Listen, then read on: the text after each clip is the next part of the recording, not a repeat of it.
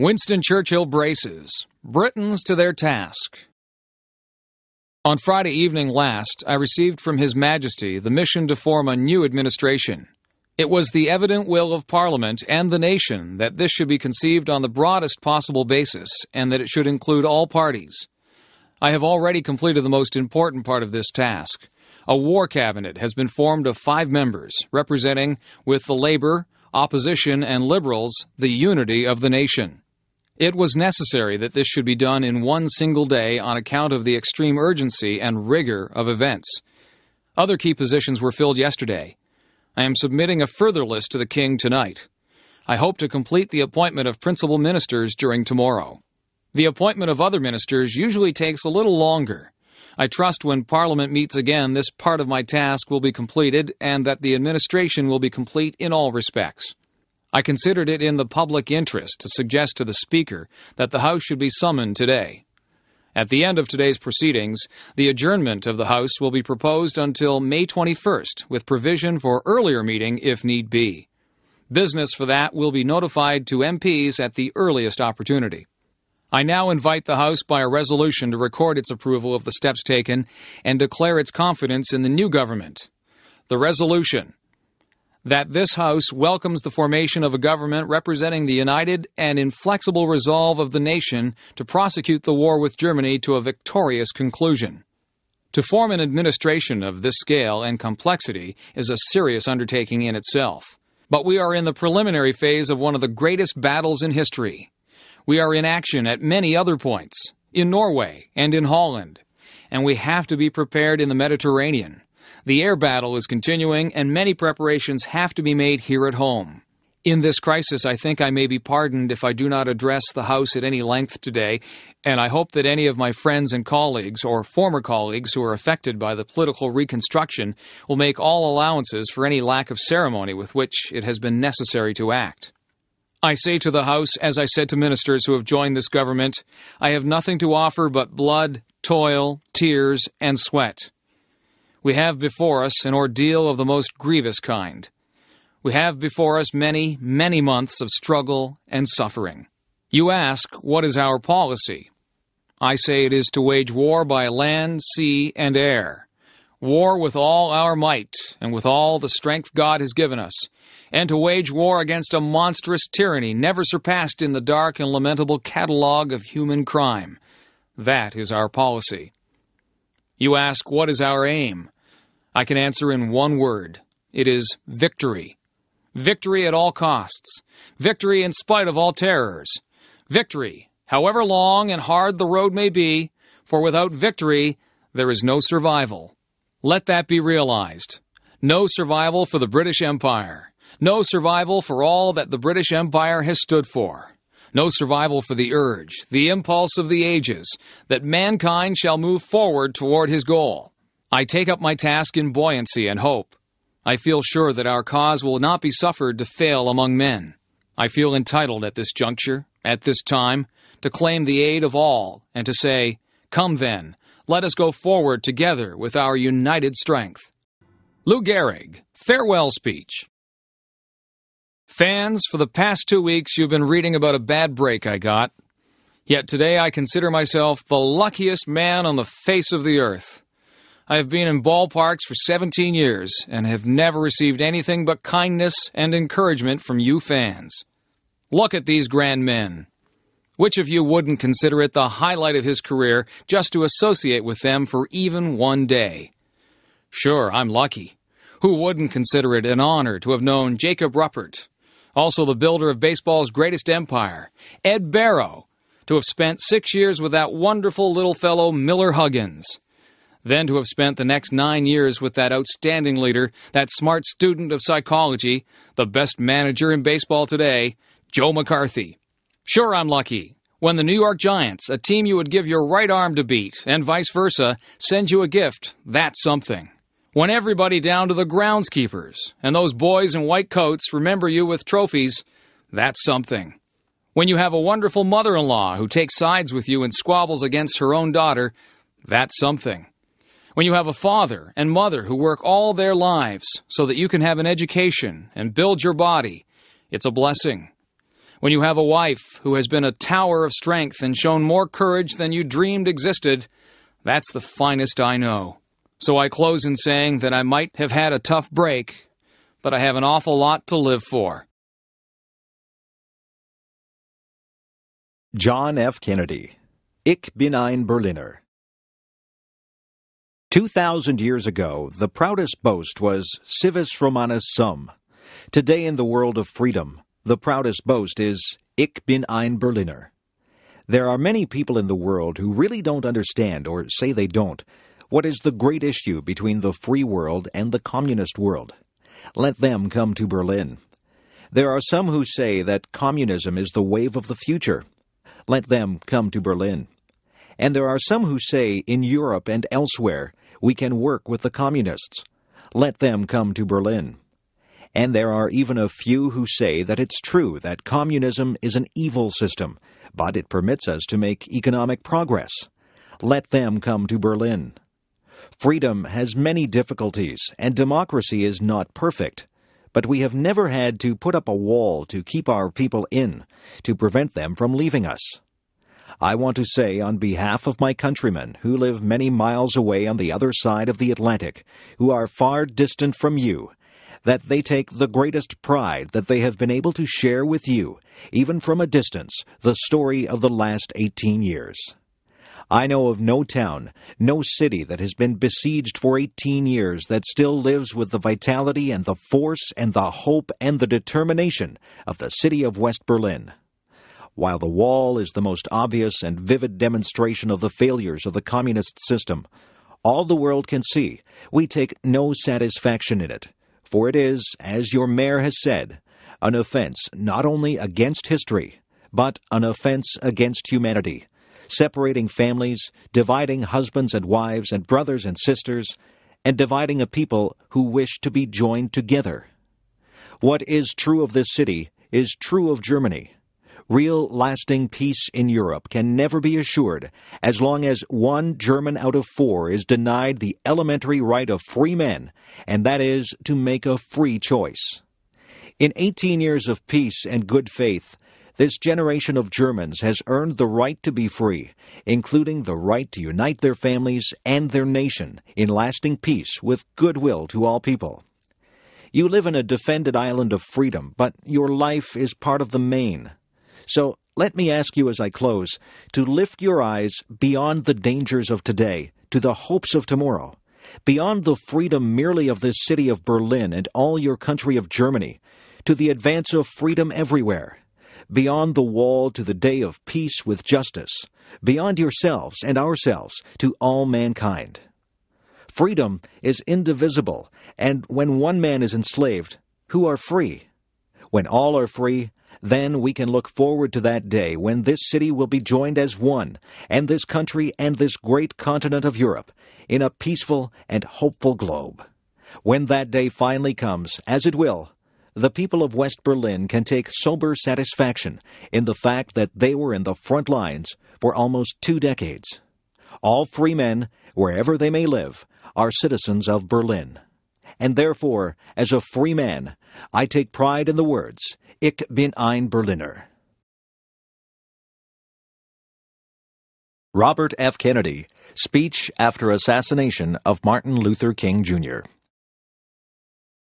I have bad news for you, for all of our fellow citizens, and people who love peace all over the world, and that is that Martin Luther King was shot and killed tonight. Martin Luther King dedicated his life to love and to justice for his fellow human beings and he died because of that effort. In this difficult day, in this difficult time for the United States, it is perhaps well to ask what kind of a nation we are and what direction we want to move in. For those of you who are black, considering the evidence there evidently is that there were white people who were responsible, you can be filled with bitterness, with hatred, and a desire for revenge. We can move in that direction as a country, in great polarization, black people amongst black, white people amongst white, filled with hatred toward one another.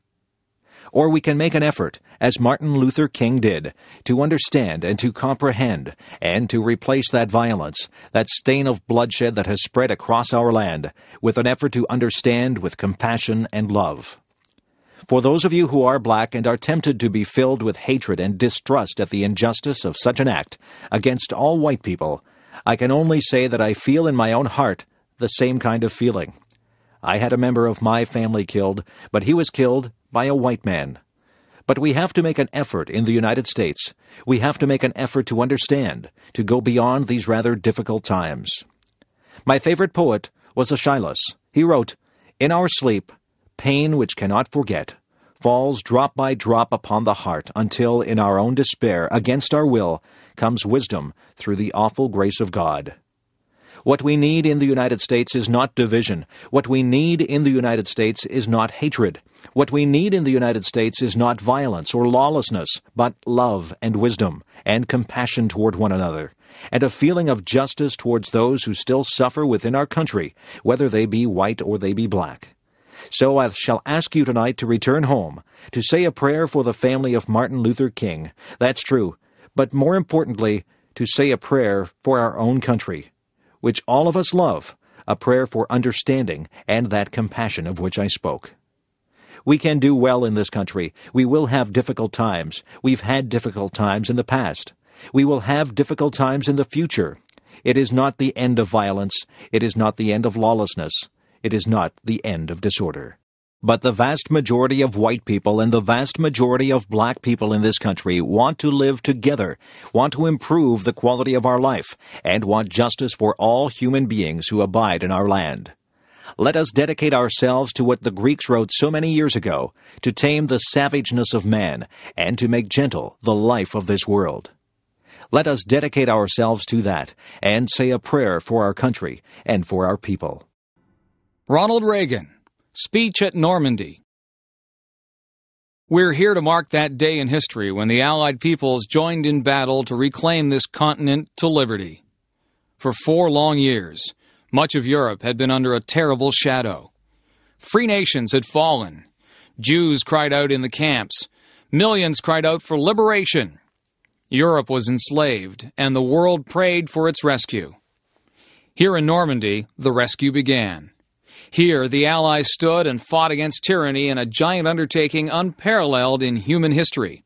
We stand on a lonely, windswept point on the northern shore of France. The air is soft. But 40 years ago, at this moment, the air was dense with smoke and the cries of men, and the air was filled with the crack of rifle fire and the roar of cannon. At dawn, on the morning of the 6th of June 1944, 225 Rangers jumped off the British landing craft and ran to the bottom of these cliffs. Their mission was one of the most difficult and daring of the invasion to climb these sheer and desolate cliffs and to take out the enemy guns. The Allies had been told that some of the mightiest of these guns were here and they would be trained on the beaches to stop the Allied advance. The Rangers looked up and saw the enemy soldiers at the edge of the cliffs, shooting down at them with machine guns and throwing grenades. And the American Rangers began to climb. They shot rope ladders over the face of these cliffs and began to pull themselves up. When one Ranger fell, another would take his place. When one rope was cut, a Ranger would grab another and begin his climb again. They climbed, shot back, and held their footing. Soon, one by one, the Rangers pulled themselves over the top, and in seizing the firm land at the top of these cliffs, they began to seize back the continent of Europe. 225 came here. After two days of fighting, only 90 could still bear arms. Behind me is a memorial that symbolizes the Ranger daggers that were thrust into the top of these cliffs. And before me are the men who put them there.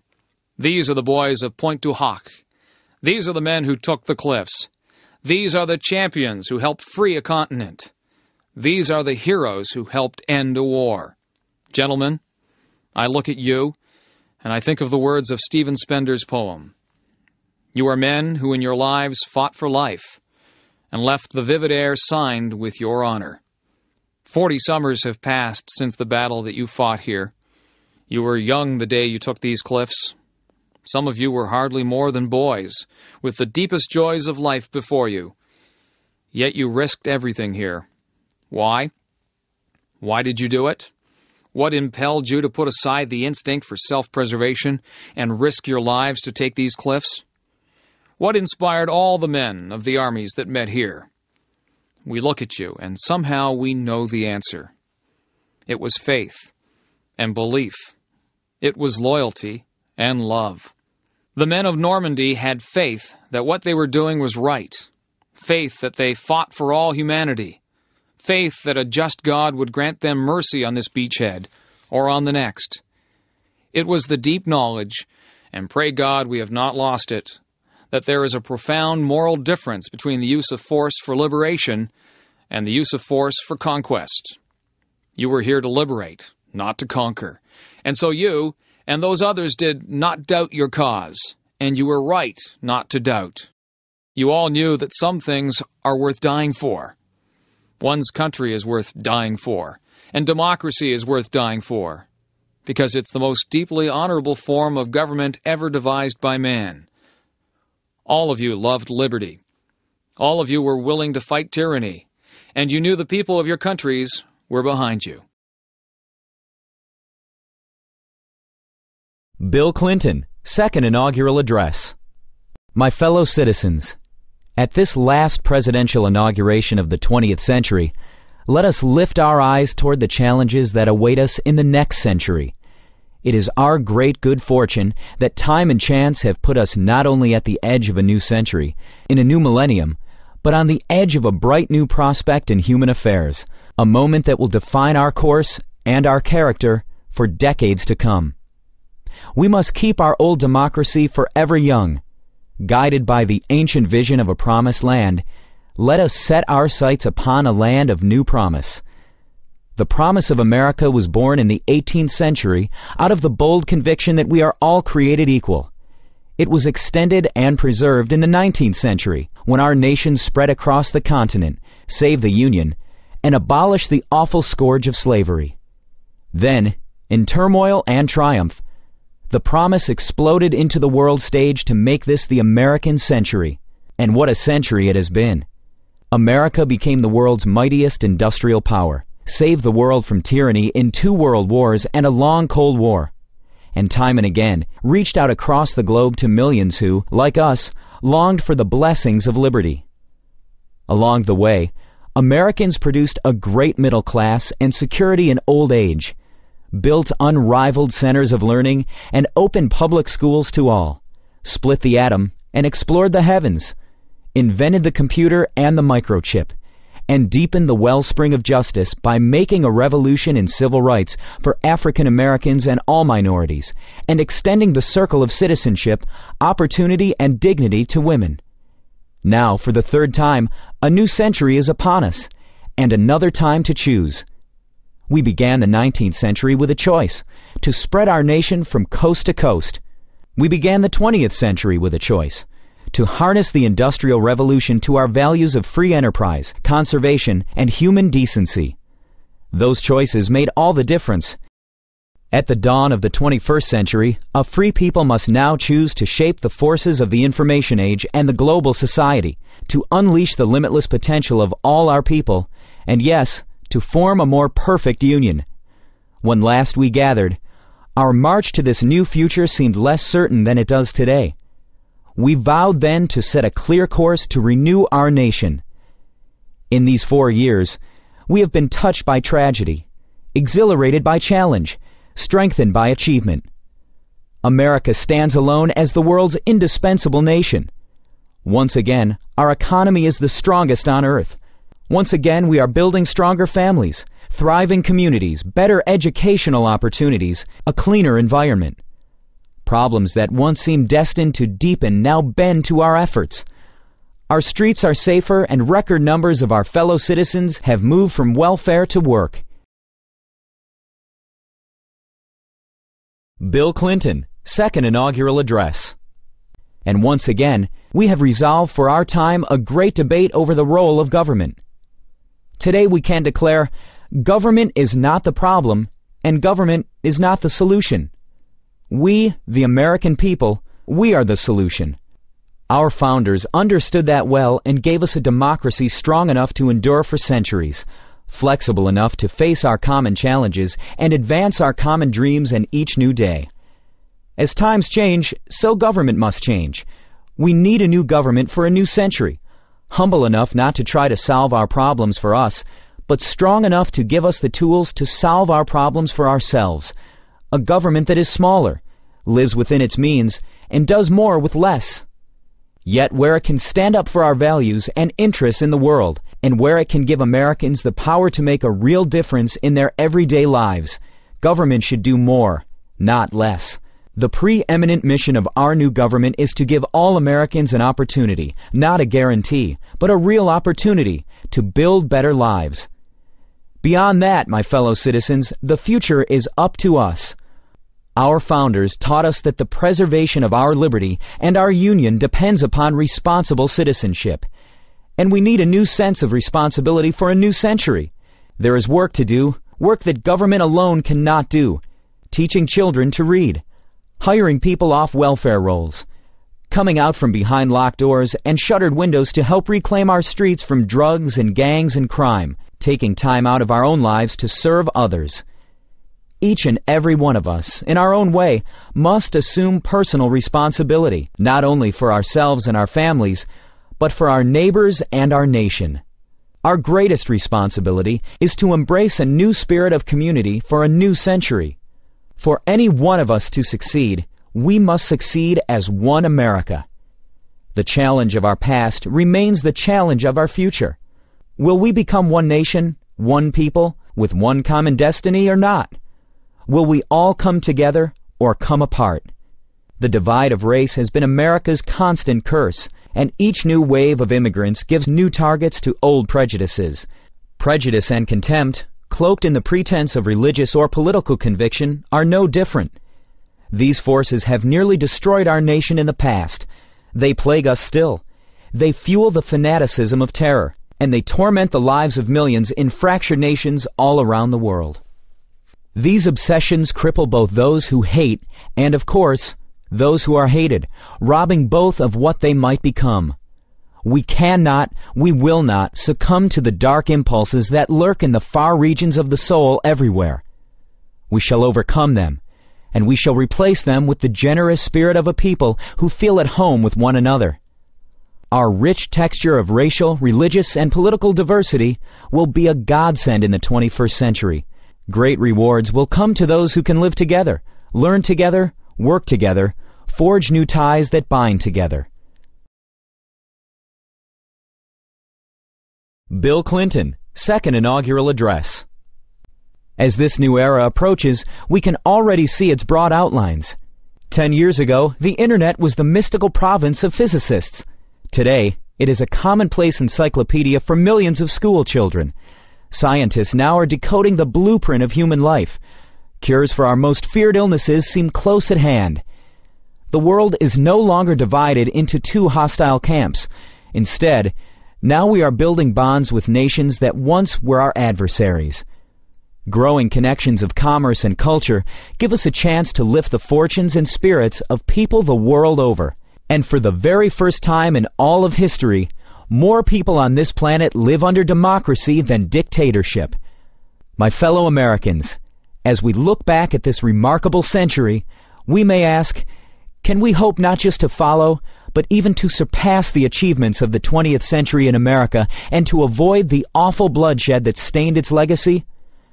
To that question, every American here and every American in our land today must answer a resounding yes. This is the heart of our task. With a new vision of government, a new sense of responsibility, a new spirit of community, we will sustain America's journey.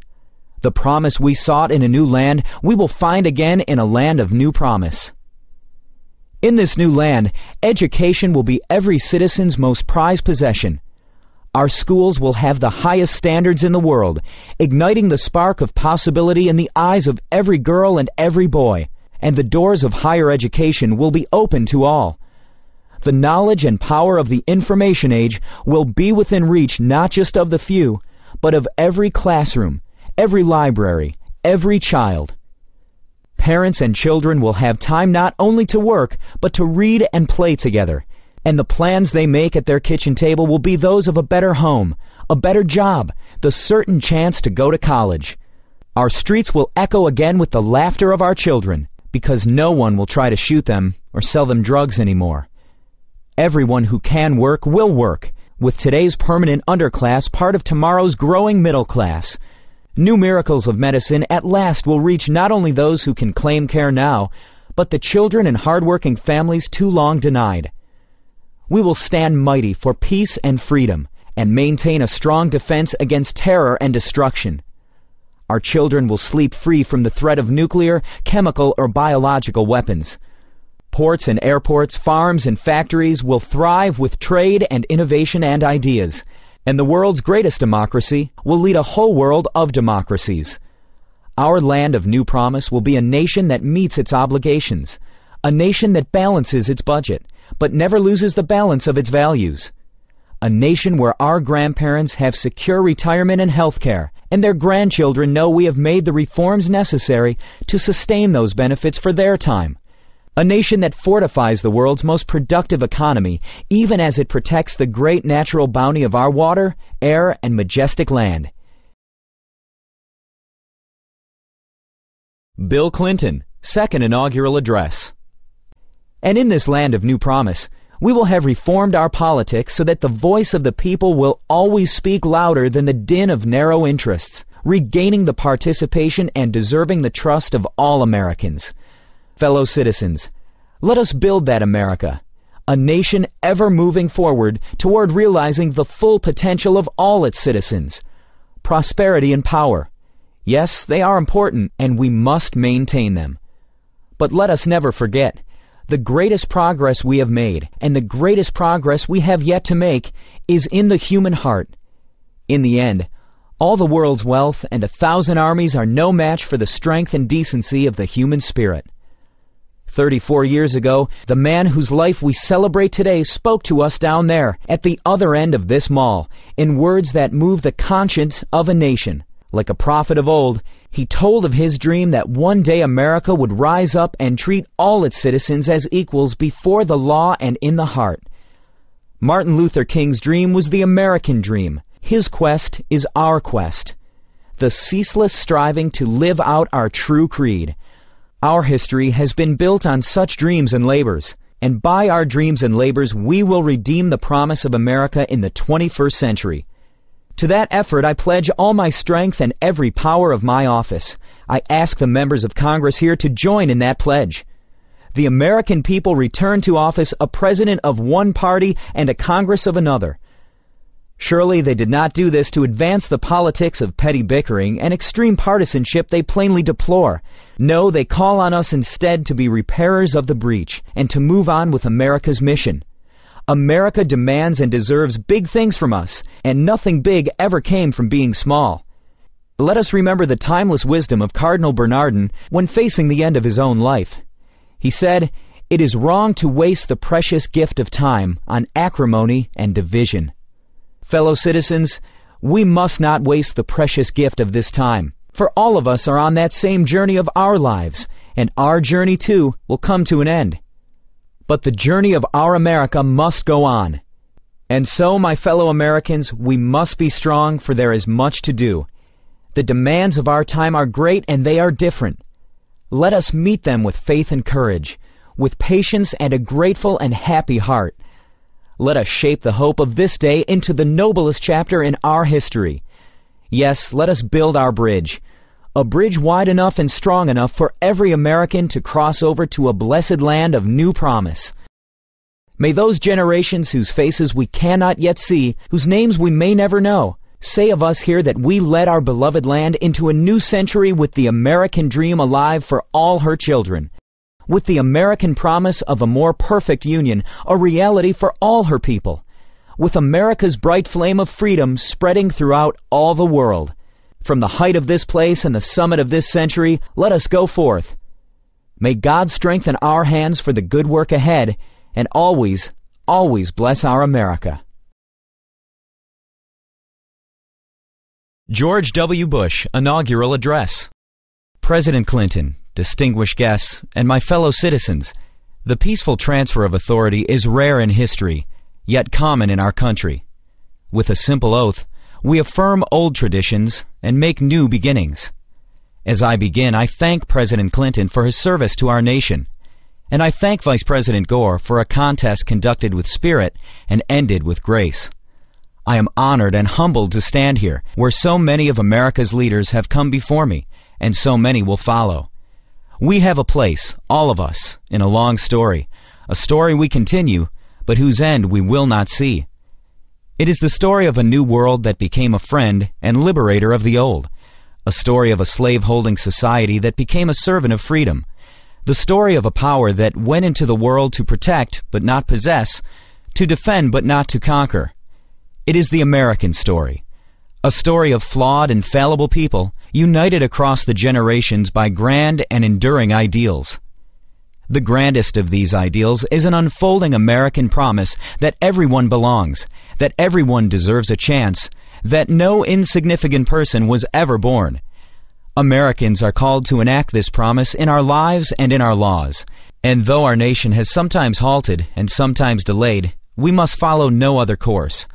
Through much of the last century, America's faith in freedom and democracy was a rock in a raging sea. Now it is a seed upon the wind, taking root in many nations. Our democratic faith is more than the creed of our country. It is the inborn hope of our humanity, an ideal we carry but do not own, a trust we bear and pass along. And even after nearly 225 years, we have a long way yet to travel. While many of our citizens prosper, others doubt the promise, even the justice of our own country. The ambitions of some Americans are limited by failing schools and hidden prejudice and the circumstances of their birth. And sometimes our differences run so deep, it seems we share a continent, but not a country. We do not accept this, and we will not allow it. Our unity, our union, is the serious work of leaders and citizens in every generation. And this is my solemn pledge. I will work to build a single nation of justice and opportunity. I know this is in our reach because we are guided by a power larger than ourselves who creates us equal in His image.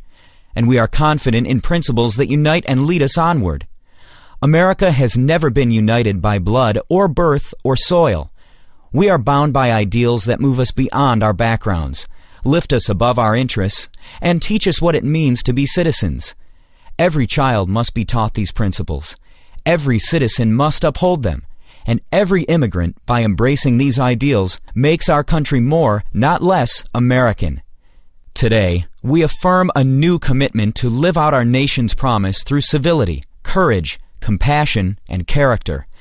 America, at its best, matches a commitment to principle with a concern for civility. A civil society demands from each of us goodwill and respect, fair dealing and forgiveness. Some seem to believe that our politics can afford to be petty because, in a time of peace, the stakes of our debates appear small. George W. Bush Inaugural Address But the stakes for America are never small.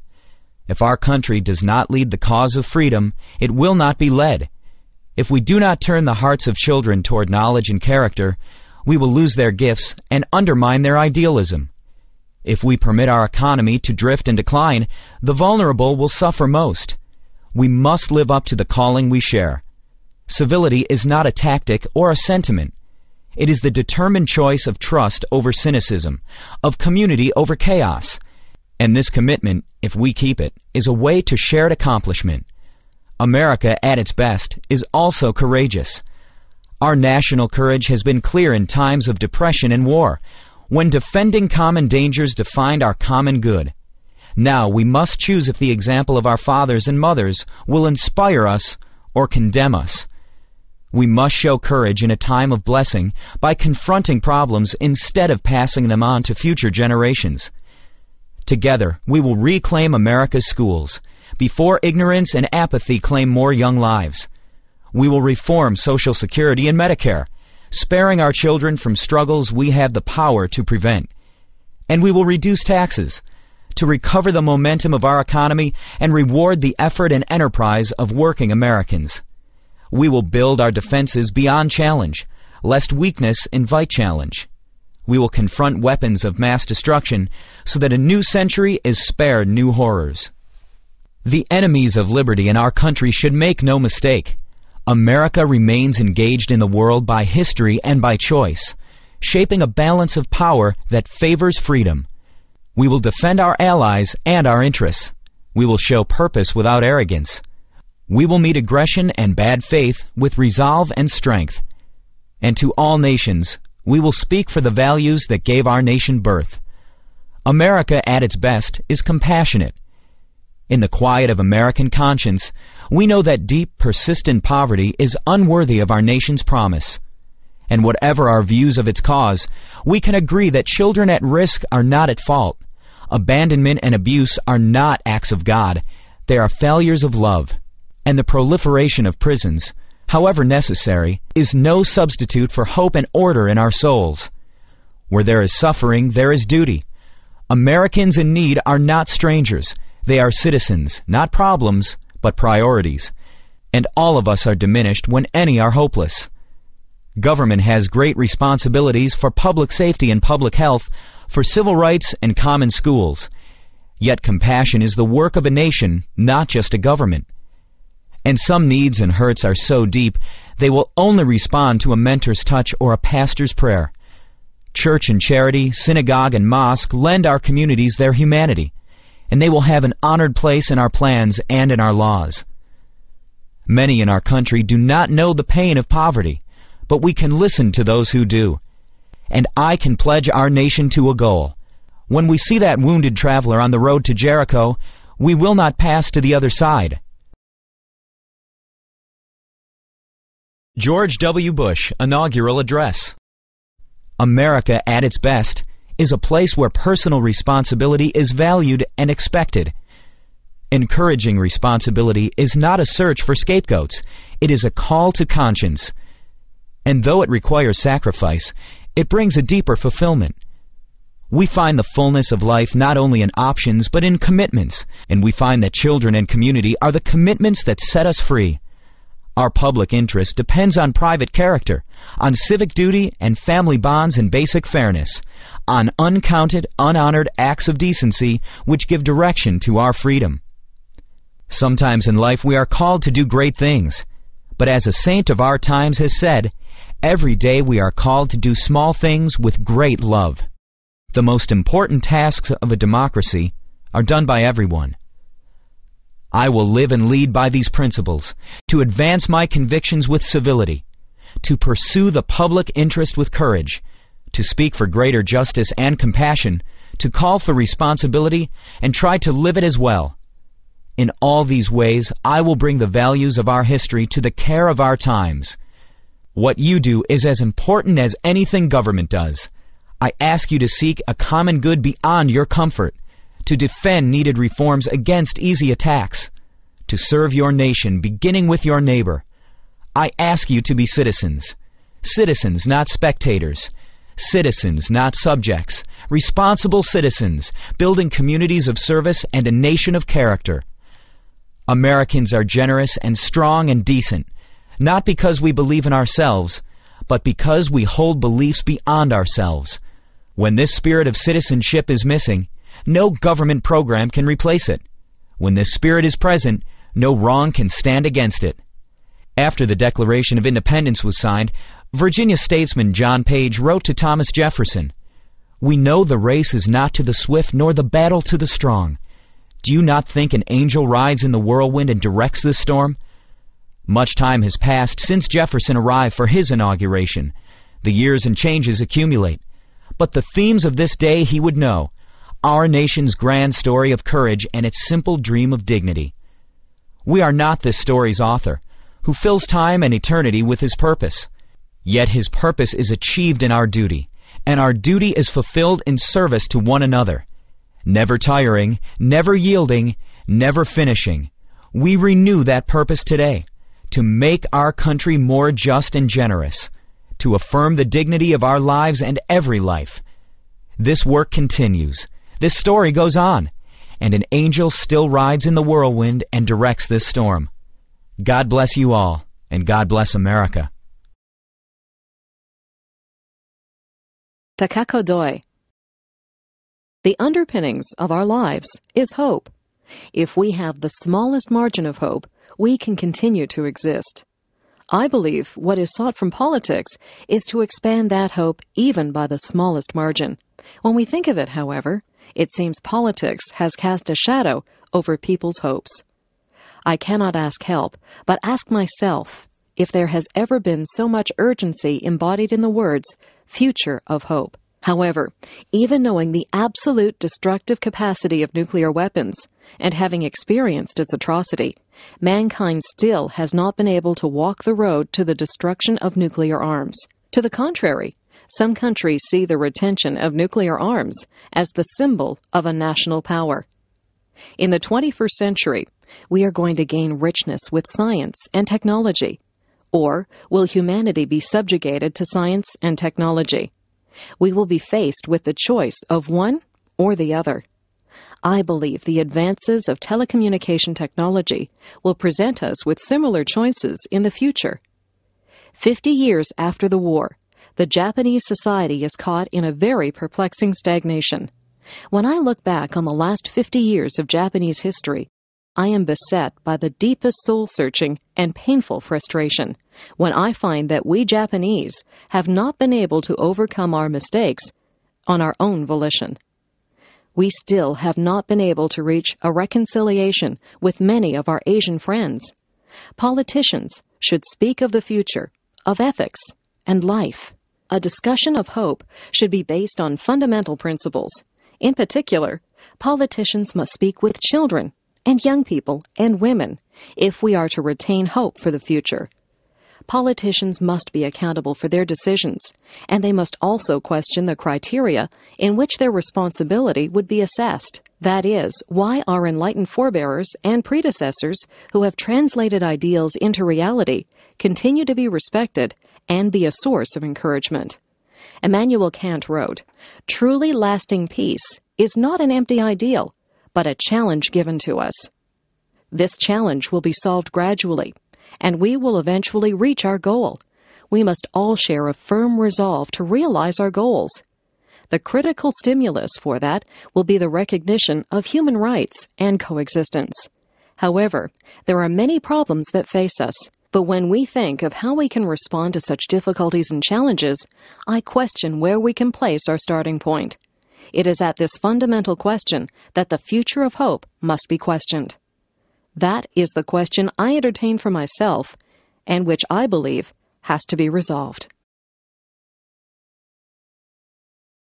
Naomi Wolf, A Woman's Place. Even the best of revolutions can go awry when we internalize the attitudes we are fighting. The class of 1992 is graduating into a violent backlash against the advances women have made over the last 20 years. This backlash ranges from a senator using The Exorcist against Anita Hill to beer commercials with the Swedish bikini team. Today, I want to give you a backlash survival kit, a four step manual to keep the dragons from taking up residence inside your own heads. My own commencement at Yale eight years ago was the graduation from hell. The speaker was Dick Cavett, rumored to have been our president's brother in an all male secret society. Mr. Cavett took the microphone and paled at the sight of hundreds of female about to be Yale graduates. When I was a graduate, I recall he said, there were no women. The women went to Vassar. At Vassar, they had nude photographs taken of the women in gym class to check their posture. One year, the photos were stolen and turned up for sale in New Haven's red light district. His punchline? The photos found no buyers. I'll never forget that moment. There we were, silent in our black gowns, our tassels, our brand new shoes. We dared not break the silence with hisses or boos, out of respect for our families, who'd come so far. And they kept still out of concern for us. Consciously or not, Mr. Cavett was using the beauty myth aspect of the backlash.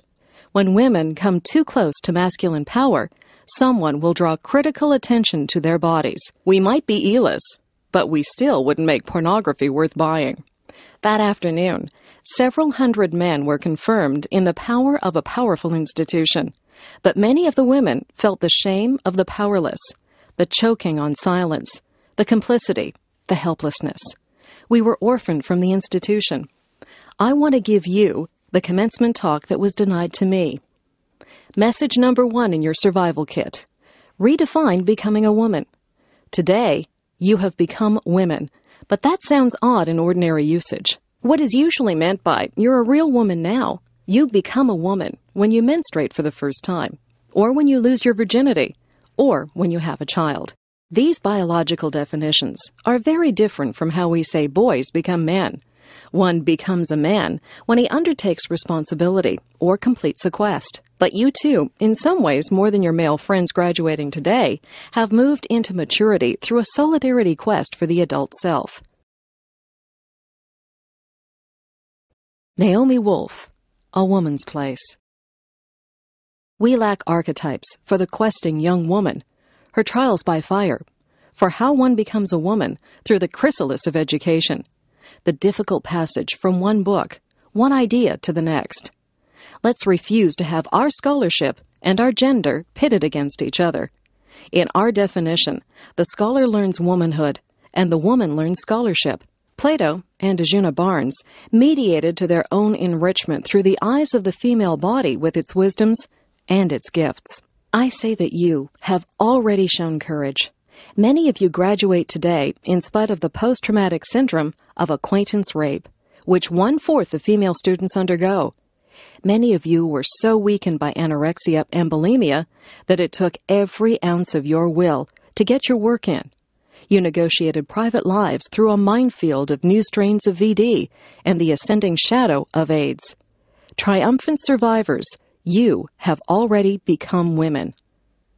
Message number two breaks the ultimate taboo for women. Ask for money in your lives. Expect it. Own it. Learn to use it. Little girls learn a debilitating fear of money, that it's not feminine to ensure we are fairly paid for honest work. Meanwhile, women make 68 cents for every male dollar, and half of marriages end in divorce after which women's income drops precipitously. Never choose a profession for material reasons. But whatever field your heart decides on, for God's sake, get the most specialized training in it you can, and hold out hard for just compensation, parental leave, and childcare. Resist your assignment to the class of highly competent, grossly underpaid women who run the show, while others get the case and the credit. Claim money, not out of greed, but so you can tithe to women's political organizations, shelters, and educational institutions. Sexist institutions won't yield power if they're just patient long enough. The only language the status quo understands is money, votes, and public embarrassment. When you have equity, you have influence. As sponsors, shareholders, and alumni, use it to open opportunities to women who deserve the chances you've had. Your BA does not belong to you alone, just as the earth does not belong to its present tenants alone. Your education was lent to you by women of the past, and you will give some back to living women and to your daughters seven generations from now. Message number three never cook for or sleep with anyone who routinely puts you down. Message number four become goddesses of disobedience. Virginia Woolf once wrote that we must slay the angel in the house, the censor within. Young women tell me of injustices, from campus rape cover ups to classroom sexism. But at the thought of confrontation, they freeze into niceness. We are told that the worst thing we can do is cause conflict, even in the service of doing right. Antigone is imprisoned. Joan of Arc burns at the stake, and someone might call us unfeminine. Naomi Wolf, A Woman's Place. When I wrote a book that caused controversy, I saw how big a dragon was this paralysis by niceness. The beauty myth argues that newly rigid ideals of beauty are instruments of a backlash against feminism, designed to lower women's self esteem for a political purpose. Many positive changes followed the debate. But all that would dwindle away when someone yelled at me, as for instance cosmetic surgeons did on TV, when I raised questions about silicone implants Oh no, I'd quail. People are mad at me. Then I read something by poet Audre Lorde. She'd been diagnosed with breast cancer. I was going to die, she wrote, sooner or later, whether or not I had even spoken myself. My silences had not protected me. Your silences will not protect you. What are the words you do not have yet? What are the tyrannies you swallow day by day and attempt to make your own until you will sicken and die of them, still in silence? We've been socialized to respect fear more than our own need for language. I began to ask each time, what's the worst that could happen to me if I tell this truth? Unlike women in other countries, our breaking silence is unlikely to have us jailed, disappeared, or run off the road at night. Our speaking out will irritate some people, get us called bitchy or hypersensitive, and disrupt some dinner parties. And then, our speaking out will permit other women to speak until laws are changed and lives are saved, and the world is altered forever. Next time, ask what's the worst that will happen? Then push yourself a little further than you dare. Once you start to speak, people will yell at you, and they will interrupt you, put you down, and suggest it's personal. And the world won't end. And the speaking will get easier and easier, and you will find you have fallen in love with your own vision, which you may never have realized you had. And you will lose some friends and lovers and realize you don't miss them. And new ones will find you and cherish you. And you will still flirt and paint your nails and dress up and party because, as I think Emma Goldman said, if I can't dance, I don't want to be part of your revolution. And at last, you'll know with surpassing certainty that only one thing is more frightening than speaking your truth, and that is not speaking.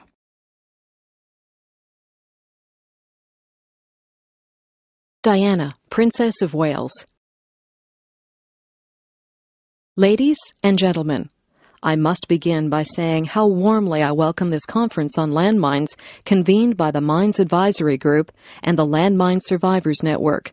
It is so welcome because the world is too little aware of the waste of life, limb, and land which anti personnel landmines are causing among some of the poorest people on Earth. Indeed, until my journey to Angola early this year, on which I'm going to speak this morning, I was largely unaware of it too for the mine is a stealthy killer. Long after conflict is ended, its innocent victims die or are wounded singly in countries of which we hear little. Their lonely fate is never reported. The world, with its many other preoccupations, remains largely unmoved by a death roll of something like 800 people every month, many of them women and children.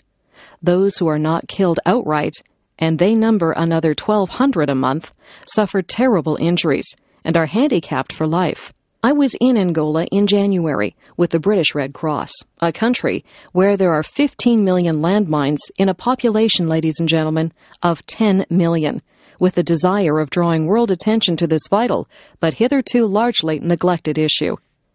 Some people chose to interpret my visit as a political statement, but it was not. I am not a political figure.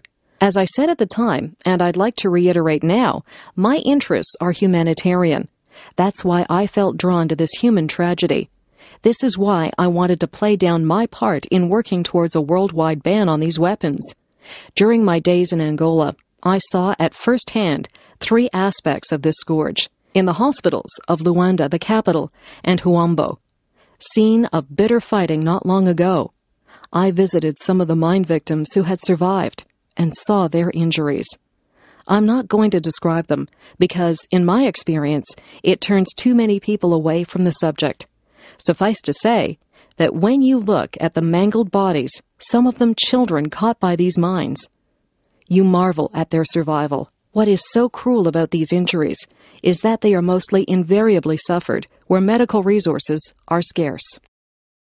I observed for myself some of the obstacles to improving medical care in most of these hospitals. Often, there's a chronic shortage of medicine, of painkillers, even of anesthetics. Surgeons constantly engaged in amputating shattered limbs never have all the facilities we would expect to see here.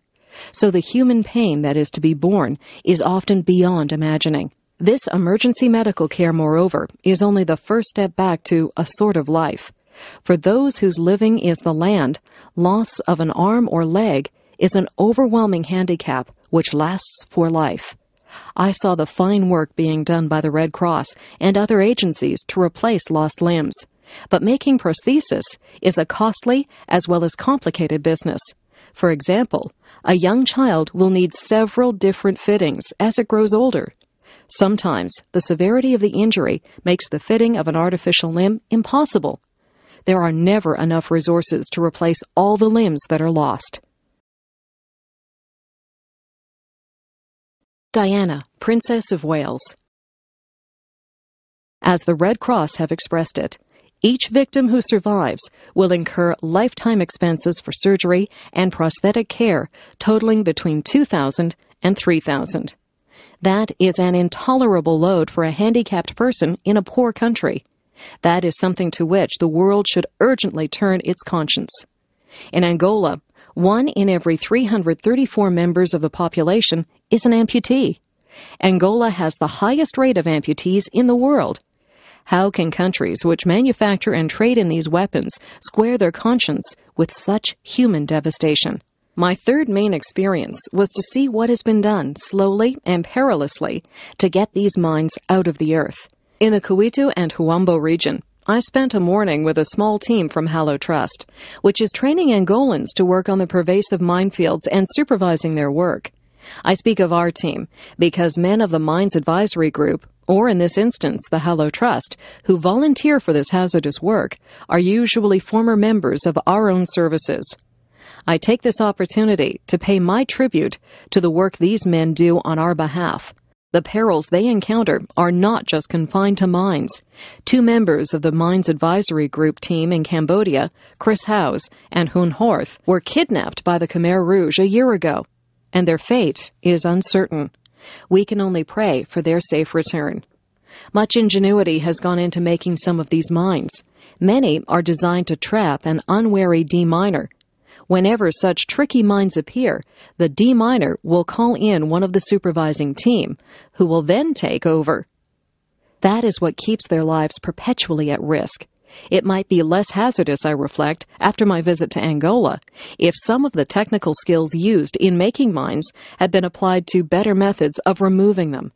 Many of these mines are relatively cheap. They can be bought for five apiece or less. Tracing them, lifting them, and disposing of them costs far more, sometimes as much as a hundred times more. Angola is full of refugees returning after a long war.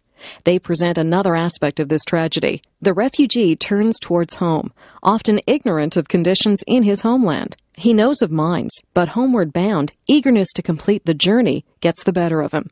Or he finds mines on what was once his land and attempts to clear them.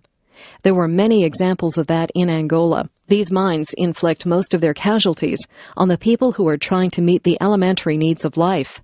They strike the wife or the grandmother gathering firewood for cooking. They ambush the child sent to collect water for the family. I was impressed to see the work being done by many of the world's agencies on mine awareness. If children can be taught at school, if adults can be helped to learn what to do, and what not to do in regions that have been mined, then lives can be saved and injuries reduced. Diana, Princess of Wales. There are said to be around 110 million mines lurking somewhere in the world, and over a third of them are to be found in Africa. Angola is probably more heavily mined than anywhere else because the war went on for such a long time, and it invaded so much of the country. So that country is going to be infested with mines and will suffer many more victims. And this brings me to one of the main conclusions I reached after this experience. Even if the world decided tomorrow to ban these weapons, this terrible legacy of mines already in the earth would continue to plague the poor nations of the globe. The evil that men do lives after them. And so, it seems to me, there rests a certain obligation upon the rest of us. One of my objectives in visiting Angola was to forward the cause of those, like the Red Cross, striving in the name of humanity to secure an international ban on these weapons. Since then, we are glad to see some real progress has been made. There are signs of a change of heart, at least in some parts of the world. For that we should be cautiously grateful. If an international ban on landmines can be secured, it means, looking far ahead, that the world may be a safer place for this generation's grandchildren. But for this generation, in much of the developing world, there will be no relief, no relaxation. The toll of deaths and injuries caused by mines already there will continue.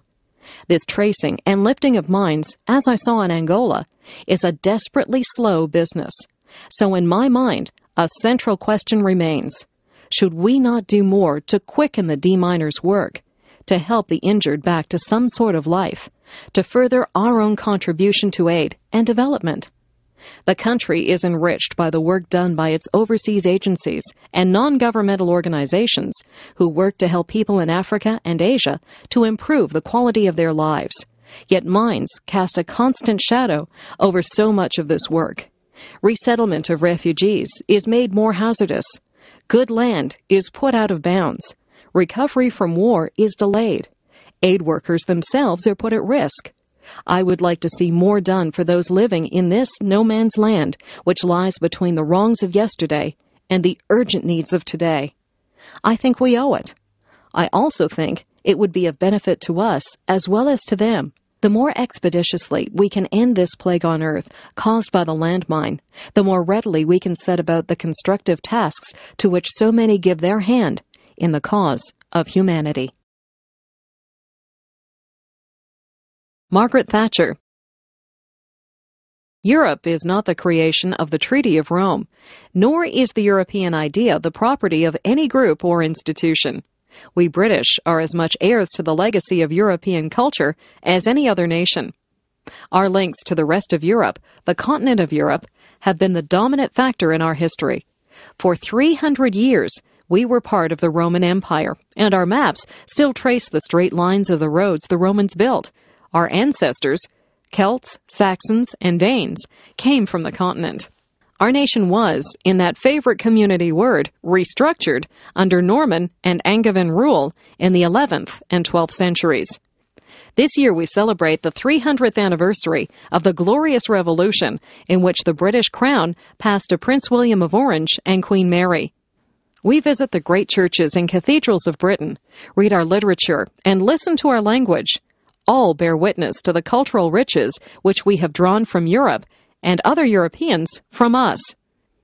We in Britain are rightly proud of the way in which, since Magna Carta in 1215, we have pioneered and developed representative institutions to stand as bastions of freedom. And proud, too, of the way in which, for centuries, Britain was home for people from the rest of Europe who sought sanctuary from tyranny.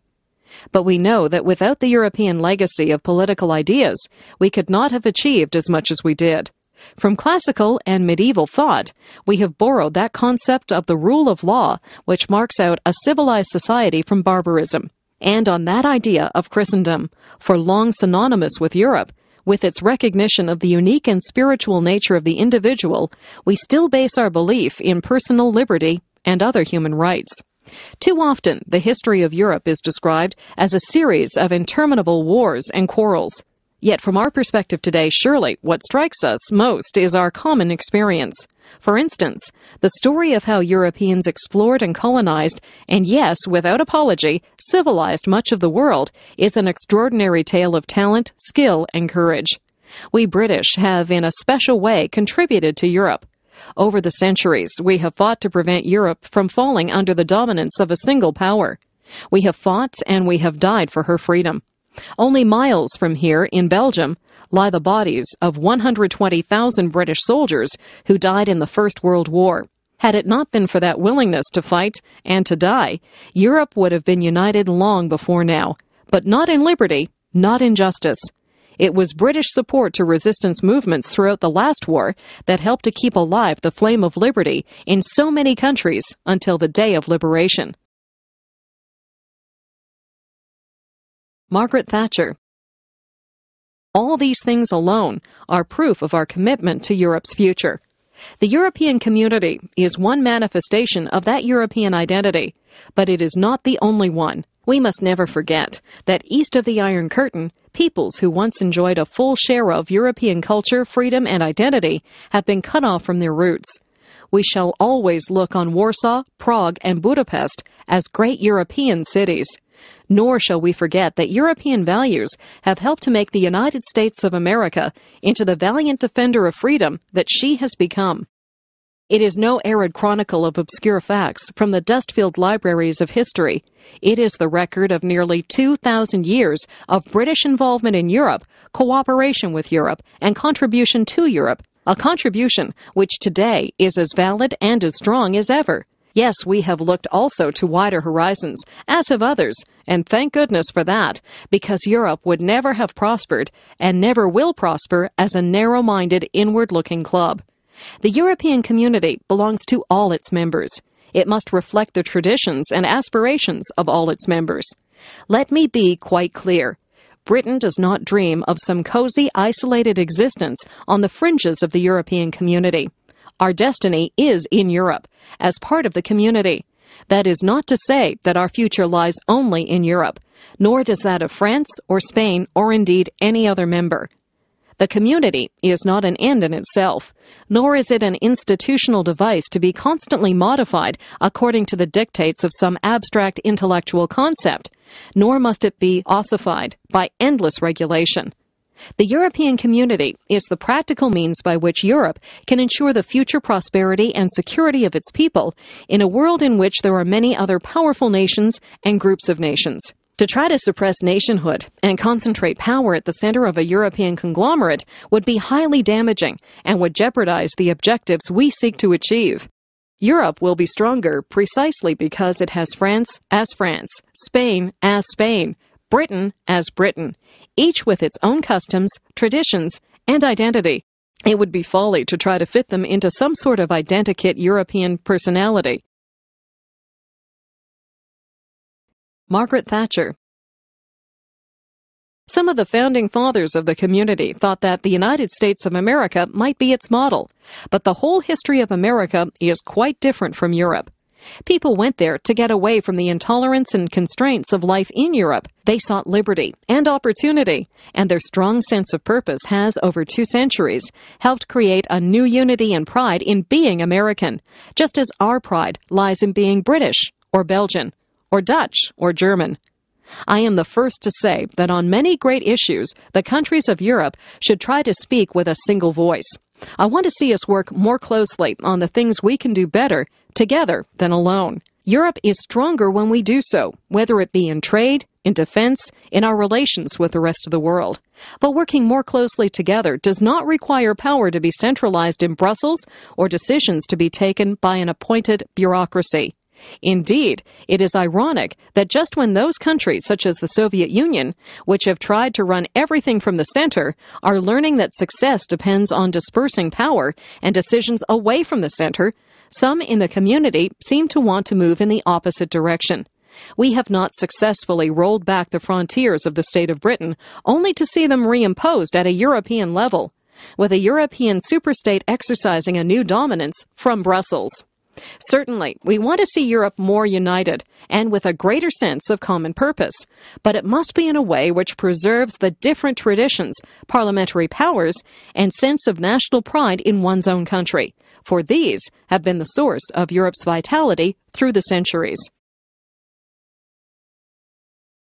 Edward Kennedy You and I have stood together many times, but no time has been more important than this. The campaign that stretches before us now is a struggle for the souls and the future of America. For we are more than a political coalition, more than a collection of programs, more than the sum of our prospects and our strategy. Most of all, we are the trustees of a dream. Twenty years ago, in 1968, we lost two of the most powerful voices of that dream. But they left us their vision, their values, and the hopes they awakened. In the countless millions of people whose hearts they touched, we remember them now to remind ourselves that the American journey is unfinished, that we stand for change in order to march again towards enduring ideals, that we do not have to settle for things as they are. Martin Luther King Jr. told us something we need to hear anew. He said, We are now faced with the fact that tomorrow is today, we are confronted with the fierce urgency of now in the unfolding life and history. There is such a thing as being too late. And Dr. King also said, we must work unceasingly to lift this nation to a higher destiny, to a new plateau of compassion. And in that time there was another voice, only briefly heard, but whose words too have outlasted all the loss in years. Robert Kennedy said, Each time a man stands up for an ideal, or acts to improve the lot of others, or strikes out against injustice, he sends forth a tiny ripple of hope, and crossing each other from a million different centers of energy and daring, those ripples build a current that can sweep down the mightiest walls of oppression and resistance. He was my brother. But he and Dr. King were also, in the deepest sense, brothers to us all. These two, these valiant two, lived for the same dream and were gone only months apart. And if they were here with us two decades later, I think I know what they would say. Now is the time. Some men see things as they are and say, Why? We dream things that never were and say, Why not? Now is the time. Abraham Lincoln, Gettysburg Address. Fourscore and seven years ago, our fathers brought forth on this continent a new nation, conceived in liberty and dedicated to the proposition that all men are created equal. Now we are engaged in a great civil war, testing whether that nation or any nation so conceived and so dedicated can long endure. We are met on a great battlefield of that war. We have come to dedicate a portion of that field as a final resting place for those who here gave their lives that that nation might live. It is altogether fitting and proper that we should do this. But in a larger sense, we cannot dedicate, we cannot consecrate, we cannot hallow this ground. The brave men, living and dead, who struggled here have consecrated it far above our poor power to add or detract.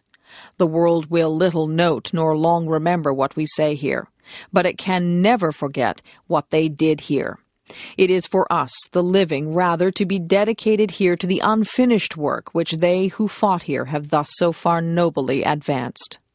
It is rather for us to be here dedicated to the great task remaining before us, that from these honored dead we take increased devotion to that cause for which they gave the last full measure of devotion, that we here highly resolve that these dead shall not have died in vain, that this nation, under God, shall have a new birth of freedom, and that government of the people, by the people, for the people, shall not perish from the earth.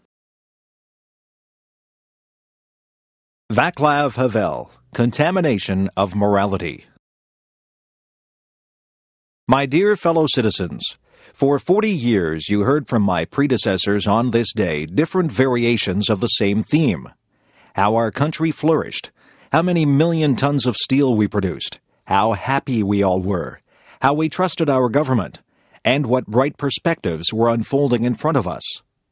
I assume you did not propose me for this office so that I too would lie to you.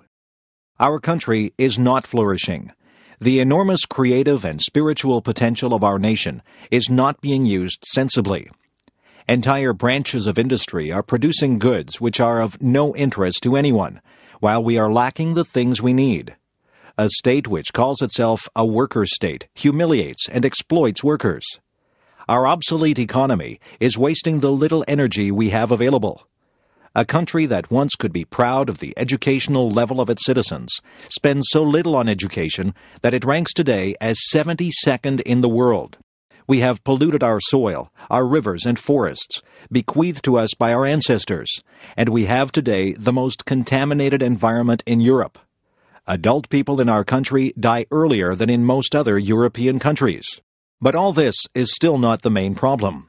The worst thing is that we live in a contaminated moral environment. We fell morally ill because we became used to saying something different from what we thought. We learned not to believe in anything, to ignore each other, to care only about ourselves. Concepts such as love, friendship, compassion, humility, or forgiveness lost their depth and dimensions. And for many of us, they represented only psychological peculiarities, or they resembled some gone astray greetings from ancient times, a little ridiculous in the era of computers and spaceships. Only a few of us were able to cry out loud that the powers that be should not be all powerful, and that special farms, which produce ecologically pure and top quality food just for them, should send their produce to schools, children's homes, and hospitals if our agriculture was unable to offer them to all. The previous regime, armed with its arrogant and intolerant ideology, reduced man to a force of production and nature to a tool of production. In this, it attacked both their very substance and their mutual relationship. It reduced gifted and autonomous people, skillfully working in their own country, to nuts and bolts of some monstrously huge, noisy, and stinking machine, whose real meaning is not clear to anyone. It cannot do more than slowly but inexorably wear down itself and all its nuts and bolts. When I talk about contaminated moral atmosphere, I am not talking just about the gentlemen who eat organic vegetables and do not look out of the plane windows. I am talking about all of us. We had all become used to the totalitarian system and accepted it as unchangeable fact, and thus helped to perpetuate it. In other words, we are all, though naturally to differing extents, responsible for the operation of the totalitarian machinery. None of us is just its victim we are also all its co creators. Vaclav Havel Contamination of Morality. Why do I say this? It would be very unreasonable to understand the sad legacy of the last forty years as something alien, which some distant relative bequeathed us. On the contrary, we have to accept this legacy as a sin we committed against ourselves. If we accept it as such, we will understand that it is up to us all, and up to us only, to do something about it. We cannot blame the previous rulers for everything, not only because it would be untrue, but also because it could blunt the duty that each of us faces today, namely, the obligation to act independently, freely, reasonably, and quickly. Let us not be mistaken. The best government in the world, the best parliament, and the best president cannot achieve much on their own and it would also be wrong to expect a general remedy from them only. Freedom and democracy include participation and therefore responsibility from us all. If we realize this, then all the horrors that the new Czechoslovak democracy inherited will cease to appear so terrible. If we realize this, hope will return to our hearts. In the effort to rectify matters of common concern, we have something to lean on the recent period, and in particular, the last six weeks of our peaceful revolution, has shown the enormous human, moral, and spiritual potential and civic culture that slumbered in our society under the enforced mask of apathy. Whenever someone categorically claimed that we were this or that, I always objected that society is a very mysterious creature and that it is not wise to trust only the face it presents to you. I am happy that I was not mistaken. Everywhere in the world, people wonder where those meek, humiliated, skeptical, and seemingly cynical citizens of Czechoslovakia found the marvelous strength to shake from their shoulders in several weeks, and in a decent and peaceful way, the totalitarian yoke. And let us ask from where did the young people who never knew another system take their desire for truth, their love of free thought, their political ideas, their civic courage, and civic prudence? How did it happen that their parents, the very generation that had been considered as lost, joined them? How is it possible that so many people immediately knew what to do and none of them needed any advice or instruction? Masaryk based his politics on morality, let us try in a new time and in a new way to restore this concept of politics. Let us teach ourselves and others that politics should be an expression of a desire to contribute to the happiness of the community, rather than of a need to cheat or rape the community. Let us teach ourselves and others that politics can be not only the art of the possible, especially if this means the art of speculation, calculation, intrigue, secret deals, and pragmatic maneuvering, but that it can even be the art of the impossible, namely, the art of improving ourselves and the world. Vaclav Havel Contamination of Morality There are free elections and an election campaign ahead of us. Let us not allow this struggle to dirty the so far clean face of our gentle revolution. Let us not allow the sympathies of the world, which we have won so fast, to be equally rapidly lost through our becoming entangled in the jungle of skirmishes for power. Let us not allow the desire to serve oneself to bloom once again under the fair mask of the desire to serve the common good. It is not really important now which party, club, or group will prevail in the elections. The important thing is that the winners will be the best of us in the moral, civic, political, and professional sense, regardless of their political affiliations. The future policies and prestige of our state will depend on the personalities we select and later elect to our representative bodies. In conclusion, I would like to say that I want to be a president who will speak less and work more to be a president who will not only look out of the windows of his airplane, but who, first and foremost, will always be present among his fellow citizens and listen to them well. You may ask what kind of republic I dream of. Let me reply I dream of a republic independent, free, and democratic, of a republic economically prosperous and yet socially just in short, of a humane republic, which serves the individual, and which therefore holds the hope that the individual will serve it in turn.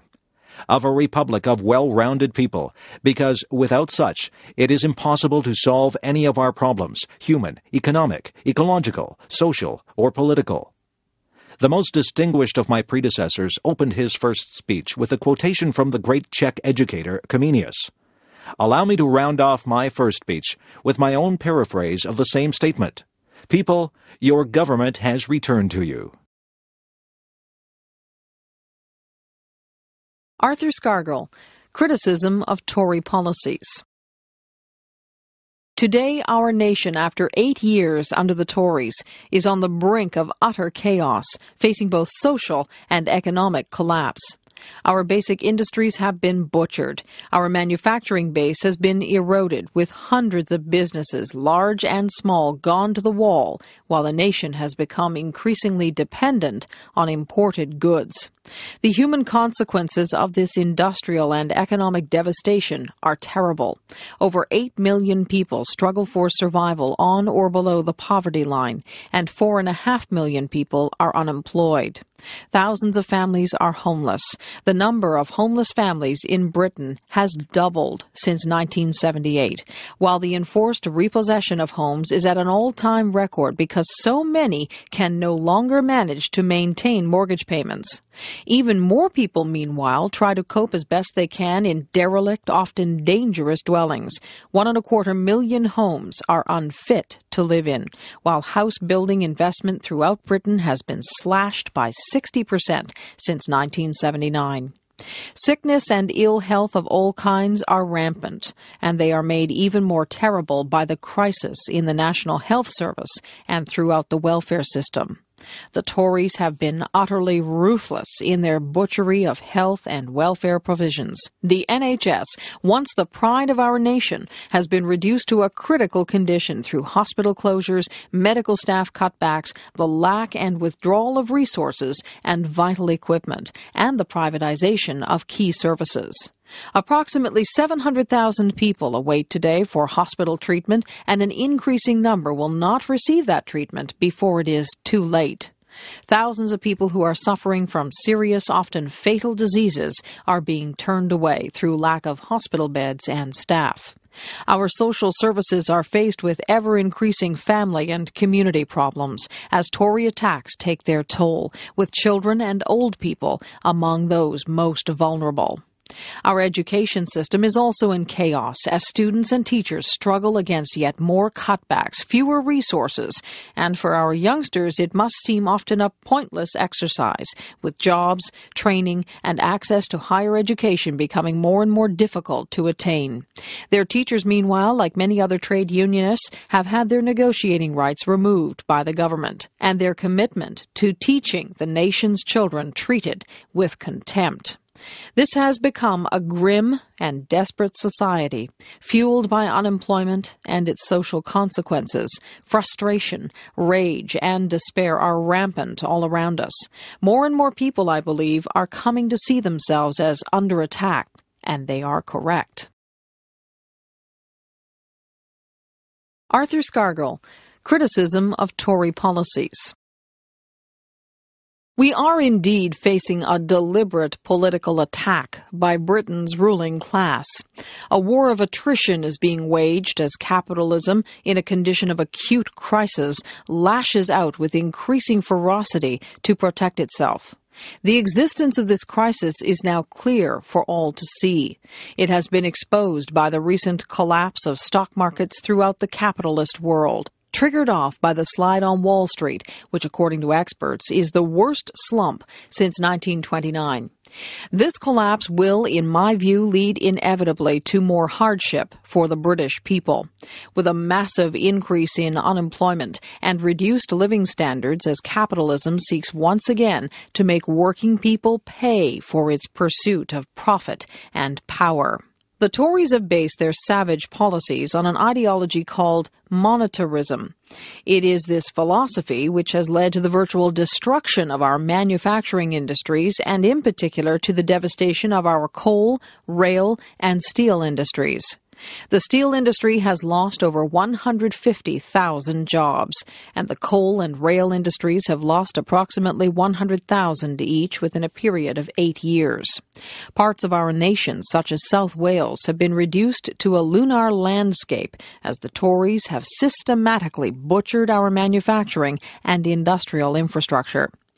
In seeking to win that absolute control, which it must have for even limited survival, the state, through the Tory government, has introduced twin measures to destroy or render ineffective all those who oppose it. On the one hand, it has deliberately increased unemployment from just over 1 million to 4.5 million in eight years, creating, as in the 1930s, a situation where 30 to 40 people pursue each job vacancy, driven by this emotional blackmail to increasing fear. At the same time, it has introduced vicious legal measures designed to render the British trade union movement completely ineffective.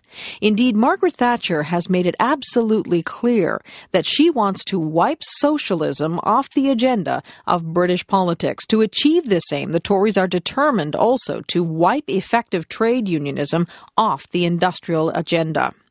Since 1979, we have seen a whole range of anti trade union legislation all of it designed to dismantle the gains achieved by trade unionists in more than a century of struggle. Today, the extent of this legislation is such that Britain's trade union movement must now be regarded as one of the most oppressed in the world. Tory legislation has removed trade union immunity, made secondary action, including secondary picketing and mass picketing, illegal, and rendered all trade unions vulnerable to legal actions, which could result in their bankruptcy. Britain's trade unions have found themselves no longer free to determine their own policies in relation to industrial solidarity action. Arthur Scargill, Criticism of Tory Policies. Not satisfied, however, with the most vicious anti union legislation in the world, the Tories are currently introducing new measures which are so draconian they have staggered and brought forth opposition even from some traditional enemies of the trade union movement. The steps taken against British trade unionism can probably only be compared with those taken against our German comrades by Hitler in the 1930s. If this new Tory legislation is left unchallenged, then civil liberties and human rights in Britain are in danger of being wiped out. As life in Britain becomes harder, as frustrations and tensions rise, the state must bring into play all the elements of its machinery in order to suppress any attempts to throw off its power.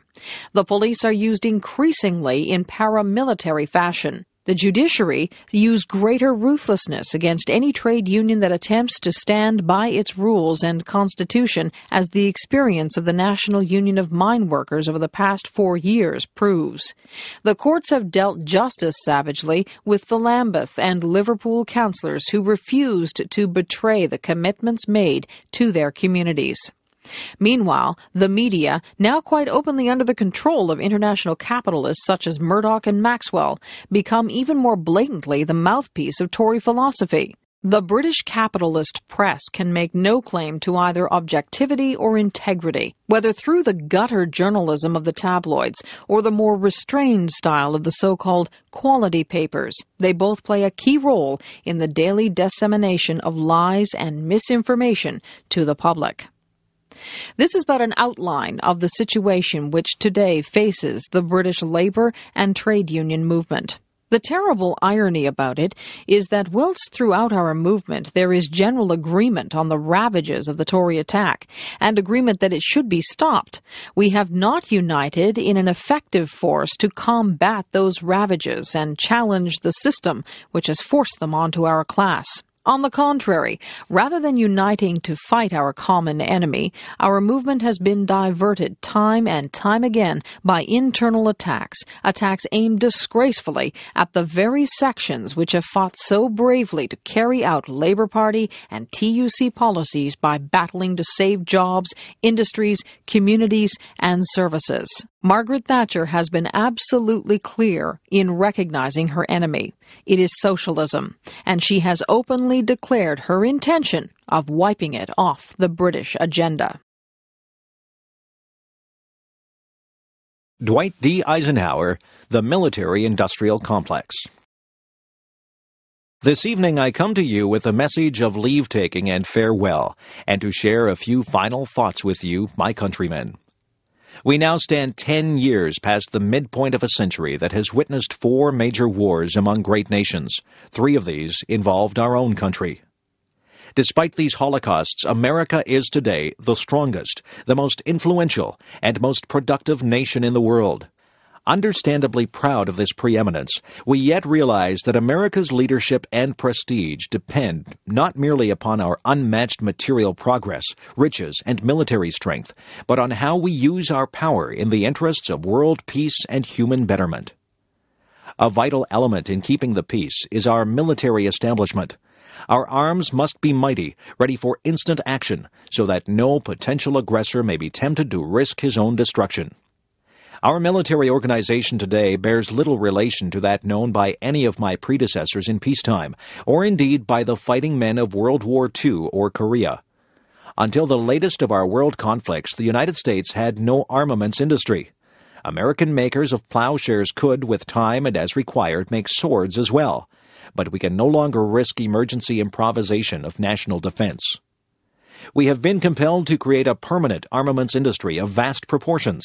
Added to this, three and a half million men and women are directly engaged in the defense establishment. We annually spend on military security alone more than the net income of all United States corporations. Now, this conjunction of an immense military establishment and a large arms industry is new in the American experience. The total influence, economic, political, even spiritual, is felt in every city, every state house, every office of the federal government. We recognize the imperative need for this development. Yet we must not fail to comprehend its grave implications. Our toil, resources, and livelihood are all involved. So is the very structure of our society. In the councils of government, we must guard against the acquisition of unwarranted influence, whether sought or unsought, by the military industrial complex. The potential for the disastrous rise of misplaced power exists and will persist. Dwight D. Eisenhower, The Military Industrial Complex. We must never let the weight of this combination endanger our liberties or democratic processes. We should take nothing for granted. Only an alert and knowledgeable citizenry can compel the proper meshing of the huge industrial and military machinery of defense with our peaceful methods and goals so that security and liberty may prosper together. Akin to and largely responsible for the sweeping changes in our industrial military posture has been the technological revolution during recent decades. In this revolution, research has become central, it also becomes more formalized, complex, and costly. A steadily increasing share is conducted for, by, or at the direction of the federal government. Today, the solitary inventor, tinkering in his shop, has been overshadowed by task forces of scientists in laboratories and testing fields. In the same fashion, the Free University, historically the fountainhead of free ideas and scientific discovery, has experienced a revolution in the conduct of research. Partly because of the huge costs involved, a government contract becomes virtually a substitute for intellectual curiosity. For every old blackboard, there are now hundreds of new electronic computers. Another factor in maintaining balance involves the element of time. As we peer into society's future, we, you and I, and our government, must avoid the impulse to live only for today, plundering for our own ease and convenience the precious resources of tomorrow. We cannot mortgage the material assets of our grandchildren without risking the loss also of their political and spiritual heritage. We want democracy to survive for all generations to come, not to become the insolvent phantom of tomorrow. Such a confederation must be one of equals. The weakest must come to the conference table with the same confidence as we do, protected as we are by our moral, economic, and military strength. That table, though scarred by many past frustrations, cannot be abandoned for the certain agony of the battlefield. Disarmament, with mutual honor and confidence, is a continuing imperative. Together, we must learn how to compose differences, not with arms, but with intellect and decent purpose. Because this need is so sharp and apparent, I confess that I lay down my official responsibilities in this field with a definite sense of disappointment. As one who has witnessed the horror and the lingering sadness of war, as one who knows that another war could utterly destroy this civilization which has been so slowly and painfully built over thousands of years, I wish I could say tonight that a lasting peace is in sight.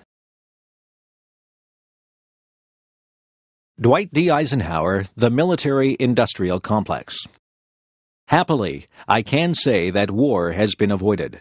Steady progress toward our ultimate goal has been made, but so much remains to be done. As a private citizen, I shall never cease to do what little I can to help the world advance along that road.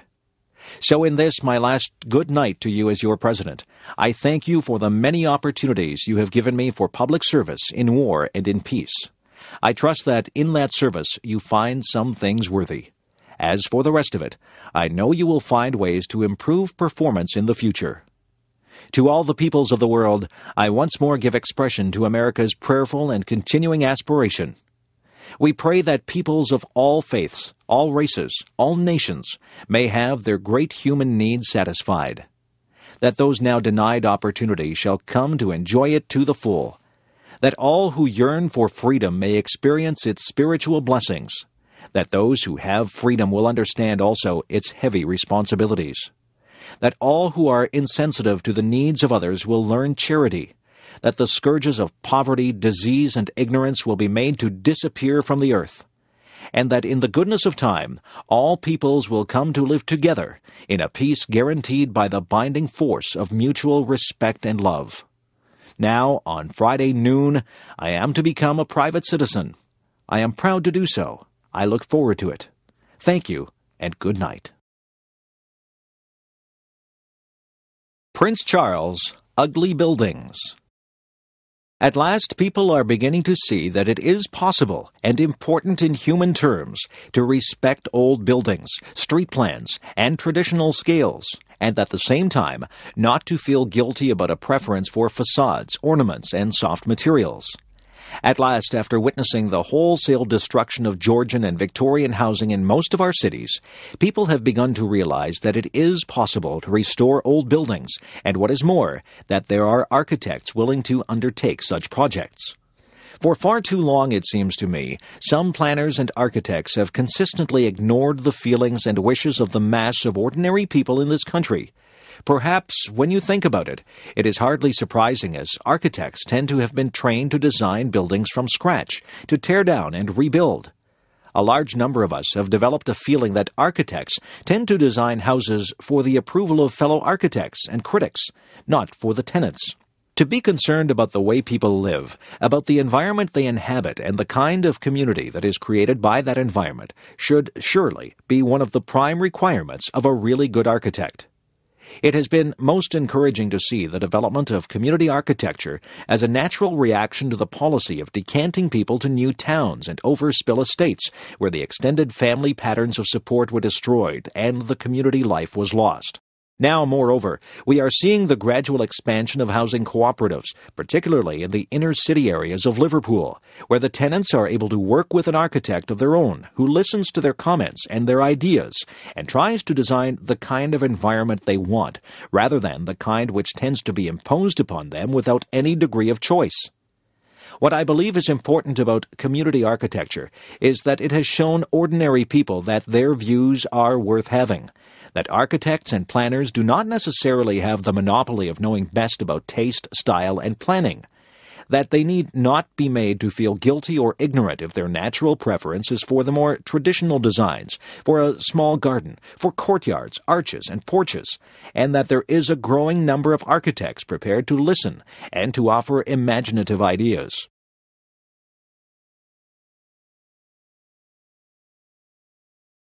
It would be a tragedy if the character and skyline of our capital city were to be further ruined and St. Paul's dwarfed by yet another giant glass stump, better suited to downtown Chicago than the city of London. It is hard to imagine that London before the last war must have had one of the most beautiful skylines of any great city, if those who recall it are to be believed. Those who do say that the affinity between buildings and the earth, in spite of the city's immense size, was so close and organic that the houses looked almost as though they had grown out of the earth and had not been imposed upon it, grown, moreover, in such a way that as few trees as possible were thrust out of the way. Those who knew it then and loved it, as so many British love Venice without concrete stumps and glass towers, and those who can imagine what it was like, must associate with the sentiments in one of Aldous Huxley's earliest and most successful novels, Antic Hay, where the main character, an unsuccessful architect, reveals a model of London as Christopher Wren wanted to rebuild it after the Great Fire, and describes how Wren was so obsessed with the opportunity the fire gave the city to rebuild itself into a greater and more glorious vision. What then are we doing to our capital city now? What have we done to it since the bombing during the war? What are we shortly going to do to one of its most famous areas, Trafalgar Square? Instead of designing an extension to the elegant facade of the National Gallery which complements it and continues the concept of columns and domes, it looks as if we may be presented with a kind of vast municipal fire station, complete with the sort of tower that contains the siren. I would understand better this type of high tech approach if you demolished the whole of Trafalgar Square and started again with a single architect responsible for the entire layout.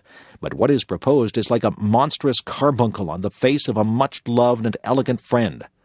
Apart from anything else, it defeats me why anyone wishing to display the early Renaissance pictures belonging to the gallery should do so in a new gallery so manifestly at odds with the whole spirit of that age of astonishing proportion.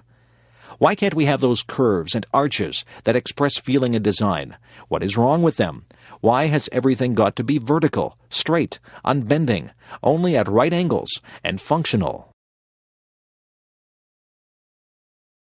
Robert Runcie after the Falklands War. Our hope as Christians is not fundamentally in man's naked goodwill and rationality. We believe that he can overcome the deadly selfishness of class or sect or race by discovering himself as a child of the universal God of love. When a man realizes that he is a beloved child of the Creator of all, then he is ready to see his neighbors in the world as brothers and sisters. That is one reason why those who dare to interpret God's will must never claim him as an asset for one nation or group rather than another. War springs from the love and loyalty which should be offered to God being applied to some God substitute, one of the most dangerous being nationalism.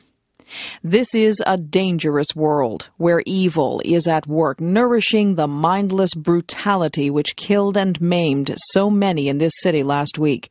Sometimes, with the greatest reluctance, force is necessary to hold back the chaos which injustice and the irrational element in man threaten to make of the world. But having said that, all is not lost, and there is hope. Even in the failure of war, there are springs of hope. In that great war play by Shakespeare, Henry V says, There is some soul of goodness in things evil, would men observingly distill it out. People are mourning on both sides of this conflict.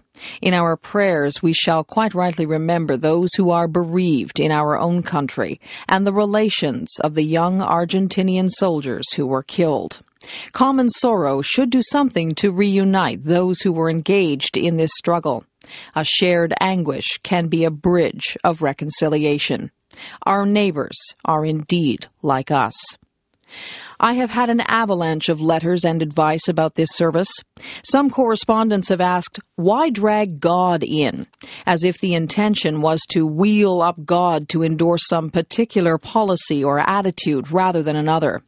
The purpose of prayer and of services like this is very different, and there is hope for the world in the difference. In our prayers, we come into the presence of the living God. We come with our very human emotions, pride in achievement and courage, grief at loss and waste. We come as we are, and not just mouthing opinions and thanksgiving which the fashion of the moment judges acceptable. As we pour into prayer our mourning, our pride, our shame, and our convictions, which will inevitably differ from person to person, if we are really present and really reaching out to God and not just demanding His endorsement, then God is able to work upon us. He is able to deepen and enlarge our compassion and to purify our thanksgiving. The parent who comes mourning the loss of a son may find here consolation, but also a spirit which enlarges our compassion to include all those Argentinian parents who have lost sons. Robert Runcie after the Falklands War. Man without God finds it difficult to achieve this revolution inside himself. But talk of peace and reconciliation is just fanciful and theoretical unless we are prepared to undergo such a revolution. Many of the reports I have heard about the troops engaged in this war refer to moments when soldiers have been brought face to face with what is fundamental in life and have found new sources of strength and compassion even in the midst of conflict. Ironically, it has sometimes been those spectators who remained at home, whether supporters or opponents of the conflict, who continue to be most violent in their attitudes and untouched in their deepest selves. Man without God is less than man. In meeting God, a man is shown his failures and his lack of integrity, but he is also given strength to turn more and more of his life and actions into love and compassion for other men like himself. It is necessary to the continuance of life on this planet that more and more people make this discovery. We have been the choice. Man possesses the power to obliterate himself, sacrificing the whole race on the altar of some God substitute.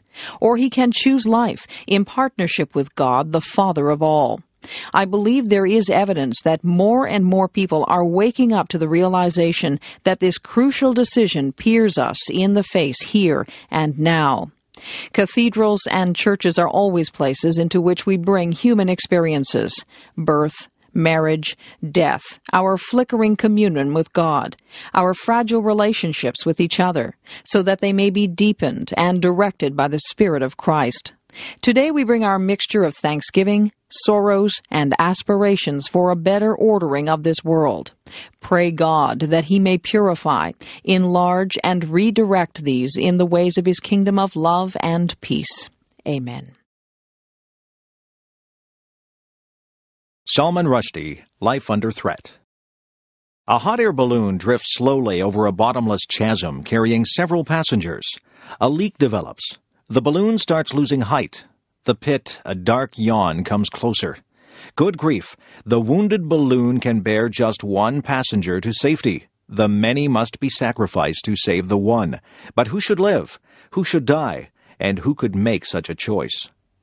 In point of fact, debating societies everywhere regularly make such choices without qualms, for of course what I've described is the given situation of that evergreen favorite, the balloon debate, in which, as the speakers argue over the relative merits and demerits of the well known figures they have placed in disaster's mouth, the assembled company blithely accepts the faintly unpleasant idea that a human being's right to life is increased or diminished by his or her virtues or vices, that we may be born equal, but thereafter our lives weigh differently in the scales.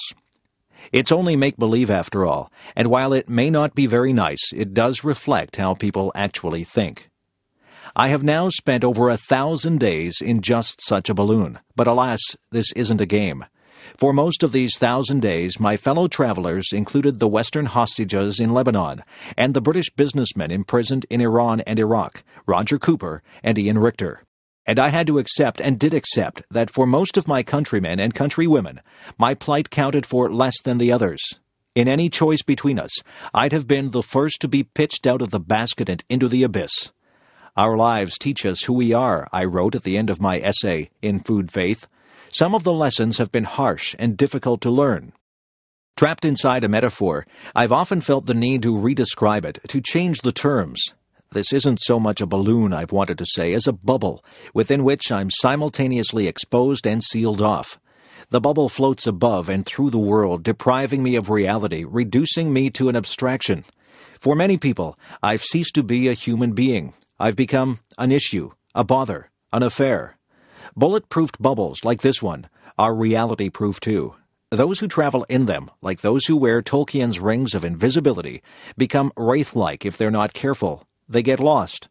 In this phantom space, a man may become the bubble that encases him, and then one day, pop, he's gone forever. It's ridiculous, isn't it, to have to say, but I am a human being, unjustly accused, unjustly embubbled. Or is it I who am being ridiculous as I call out from my bubble, I'm still trapped in here, folks. Somebody, please get me out? Salman Rushdie, Life Under Threat. Out there where you are, in the rich and powerful and lucky West, has it really been so long since religions persecuted people, burning them as heretics, drowning them as witches, that you can't recognize religious persecution when you see it? The original metaphor has reasserted itself. I'm back in the balloon, asking for the right to live. What is my single life worth? Despair whispers in my ear. Not a lot, but I refuse to give in to despair. I refuse to give in to despair because I've been shown love as well as hatred. I know that many people do care and are appalled by the crazy upside down logic of the post fatwa world, in which a single novelist can be accused of having savaged or mugged a whole community, becoming its tormentor instead of its tarred and feathered victim, and the scapegoat for all its discontents. Many people do ask, for example, when a white pop star turned Islamic fanatic speaks approvingly about killing an Indian immigrant, how does the Indian immigrant end up being called the racist? Or again, what minority is smaller and weaker than a minority of one? I refuse to give in to despair, even though for a thousand days and more I've been put through a degree course in worthlessness, my own personal and specific worthlessness. My first teachers were the mobs marching down distant boulevards, baying for my blood and finding soon enough their echoes on the English streets. I could not understand the force that makes parents hang murderous slogans around their children's necks. I have learned to understand it. It burns books and effigies and thinks itself holy. But at first, as I watched the marchers, I felt them trampling on my heart.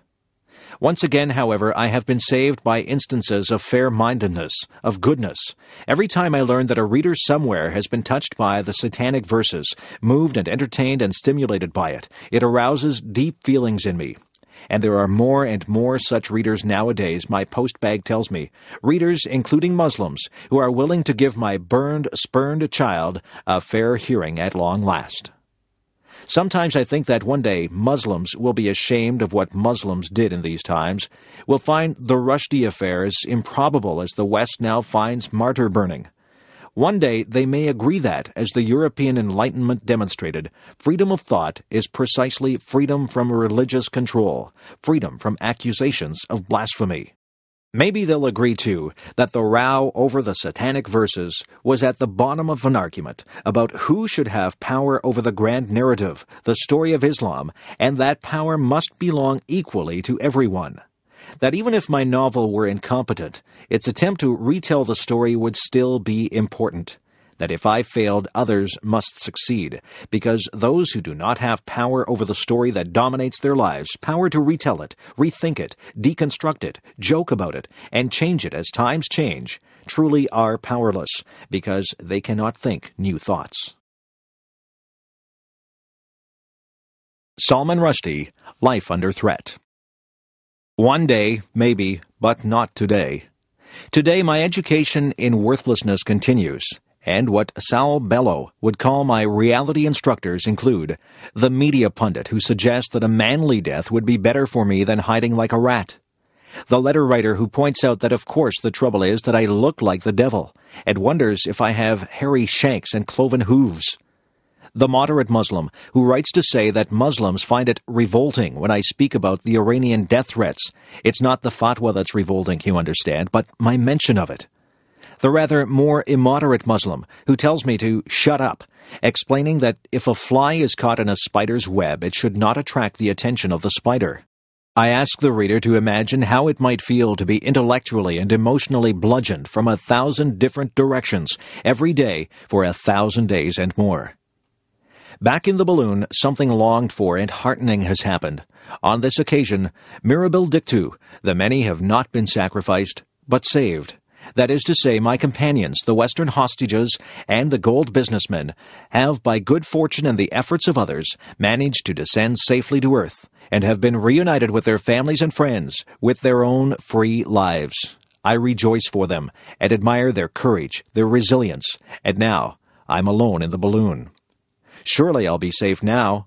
Surely now the balloon will drop safely towards some nearby haven, and I too will be reunited with my life. Surely it's my turn now. But the balloon is over the chasm again, and it's still sinking. I realize that it's carrying a great deal of valuable freight, trading relations, armaments deals, the balance of power in the Gulf. These and other matters of great moment are weighing down the balloon. I hear voices suggesting that if I stay aboard, this precious cargo will be endangered. The national interest is being redefined. Am I being redefined out of it? Am I to be jettisoned after all?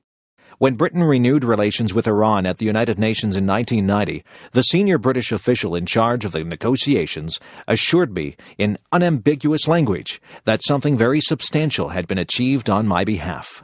The Iranians, laughing merrily, had secretly agreed to forget the fatwa. The diplomat put great stress on this cherry Iranian laughter. They would neither encourage nor allow their citizens, surrogates, or proxies to act against me. Oh, how I wanted to believe that. But in the year and a bit that followed, we saw the fatwa restated in Iran. The bounty money doubled. The book's Italian translator severely wounded.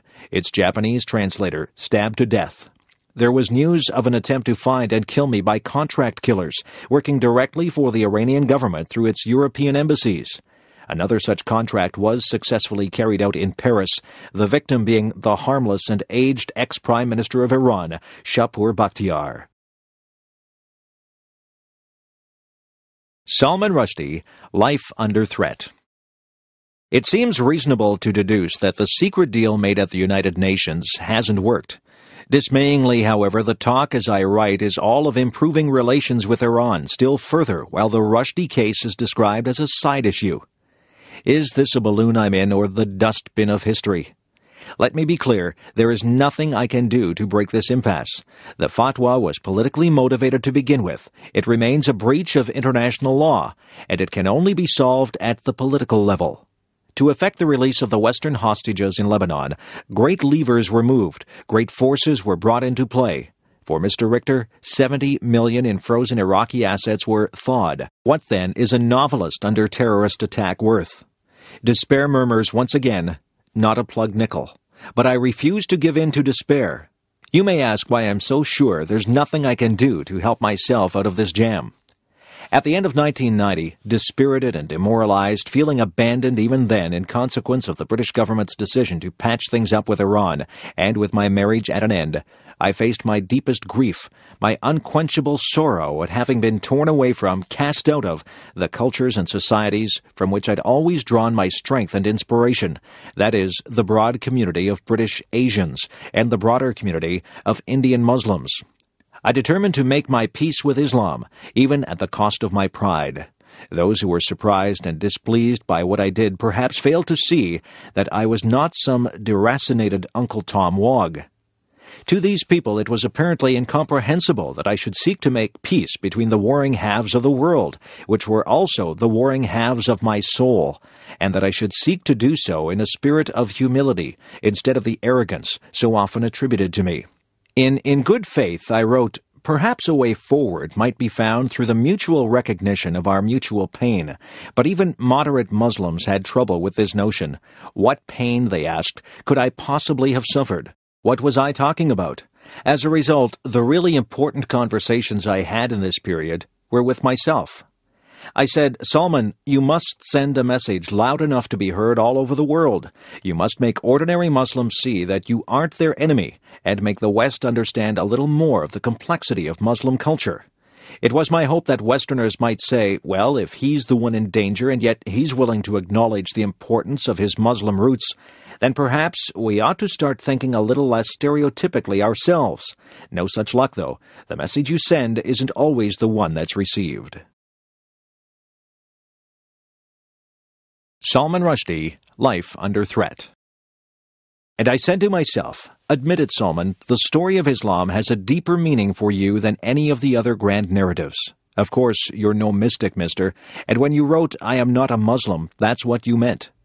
No supernaturalism, no literalist orthodoxies, no formal rules for you. But Islam doesn't have to mean blind faith. It can mean blind faith. It can mean what it always meant in your family a culture, a civilization, as open minded as your grandfather was, as delightedly disputatious as your father was, as intellectual and philosophical as you like. Don't let zealots make Muslim a terrifying word, I urged myself. Remember what it meant family and light. I reminded myself that I had always argued that it was necessary to develop the nascent concept of the secular Muslim, who, like the secular Jews, affirmed his membership of the culture while being separate from the theology.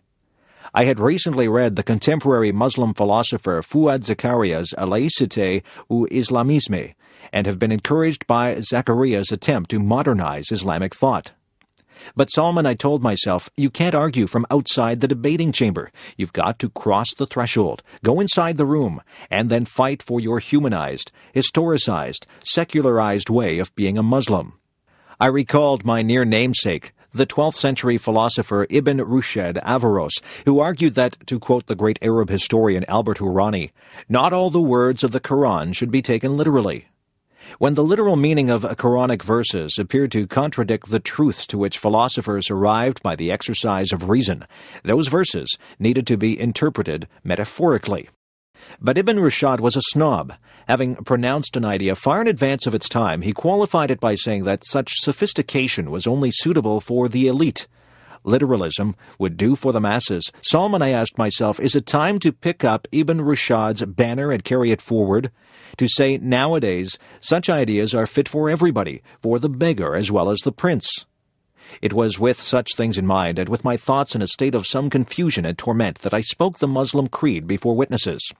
But my fantasy of joining the fight for the modernization of Muslim thought, for freedom from the shackles of the thought police, was stillborn. It never really had a chance. Too many people had spent too long demonizing and totemizing me to listen seriously to what I had to say. In the West, some friends turned against me, called me by yet another set of insulting names. Now I was spineless, pathetic, debased. I had betrayed myself, my cause. Above all, I had betrayed them. I also found myself up against the granite, heartless certainties of actually existing Islam, by which I mean the political and priestly power structure that presently dominates and stifles Muslim societies actually existing Islam has failed to create a free society anywhere on earth, and it wasn't about to let me, of all people, argue in favor of one. Salman Rushdie, Life Under Threat. Suddenly, I was, metaphorically, among people whose social attitudes I'd fought for all my life, for example, their attitudes about women. One Islamicist boasted to me that his wife would cut his toenails while he made telephone calls, and suggested I find such a spouse. Or about gays. One of the imams I met in December 1990 was on TV soon afterwards denouncing Muslim gays as sick creatures who brought shame on their families and who ought to seek medical and psychiatric help. Had I truly fallen in among such people? That was not what I meant at all. Facing the intransigence, the Philistine scorn of so much of actually existing Islam, I reluctantly concluded that there was no way for me to help bring into the Muslim culture I dreamed of the progressive, irreverent, skeptical, argumentative, playful, and unafraid culture, which is what I've always understood as freedom. Not me, not in this lifetime, no chance actually existing Islam, which has all but deified its prophet, a man who always fought passionately against such deification, which has supplanted a priest free religion by a priest ridden one, which makes literalism a weapon and redescriptions a crime, which will never let the likes of me in. Ibn Rushd's ideas were silenced in their time, and throughout the Muslim world today, progressive ideas are in retreat actually existing Islam reigns supreme, and just as the recently destroyed actually existing socialism of the Soviet terror state was horrifically unlike the utopia of peace and equality of which democratic socialists have dreamed, so also is actually existing Islam a force to which I have never given in, to which I cannot submit. There is a point beyond which conciliation looks like capitulation. I do not believe I pass the point, but others have thought otherwise. I have never disowned my book, nor regretted writing it. I said I was sorry to have offended people because I had not set out to do so, and so I am. I explained that writers do not agree with every word spoken by every character they create, a truism in the world of books, but a continuing mystery to the Satanic Verses opponents. I have always said that this novel has been traduced. Indeed, the chief benefit of my meeting with the six Islamic scholars on Christmas Eve 1990 was that they agreed that the novel had no insulting motives. In Islam, it is a man's intention that counts, I was told. Now we will launch a worldwide campaign on your behalf to explain that there has been a great mistake. All this with much smiling and friendliness and handshaking. It was in this context that I agreed to suspend, not cancel, a paperback edition to create what I called a space for reconciliation. Salman Rushdie, Life Under Threat. Alas, I overestimated these men. Within days, all but one of them had broken their promises and recommended to vilify me and my work as if we had not shaken hands. I felt most probably I had been a great fool. The suspension of the paperback began at once to look like surrender. In the aftermath of the attacks on my translators, it looks even more craven. It has now been more than three years since the Satanic Verses was published. That's a long, long space for reconciliation. Long enough. I accept that I was wrong to have given way on this point. The Satanic Verses must be freely available and easily affordable, if only because if it is not read and studied, then these years will have no meaning. Those who forget the past are condemned to repeat it. Our lives teach us who we are. I have learned the hard way that when you permit anyone else's description of reality to supplant your own, and such descriptions have been raining down on me from security advisers, governments, journalists, archbishops, friends, enemies, mullahs, then you might as well be dead. Obviously, a rigid, blinkered, absolutist worldview is the easiest to keep hold of, whereas the fluid, uncertain, metamorphic picture I've always carried about is rather more vulnerable. Yet I must cling with all my might to that chameleon, that chimera, that space shifter, my own soul. Must hold on to its mischievous, iconoclastic, out of step clown instincts, no matter how great the storm. And if that plunges me into contradiction and paradox, so be it. I've lived in that messy ocean all my life. I've fished in it for my art. This turbulent sea was the sea outside my bedroom window in Bombay. It is the sea by which I was born, and which I carry within me wherever I go. Free speech is a non starter, says one of my Islamic extremist opponents. No, sir, it's not. Free speech is the whole thing, the whole ballgame. Free speech is life itself. That's the end of my speech from this ailing balloon. Now it's time to answer the question What is my single life worth? Is it worth more or less than the fat contracts and political treaties that are in here with me? Is it worth more or less than good relations with a country which, in April 1991, gave 800 women 74 lashes each for not wearing a veil?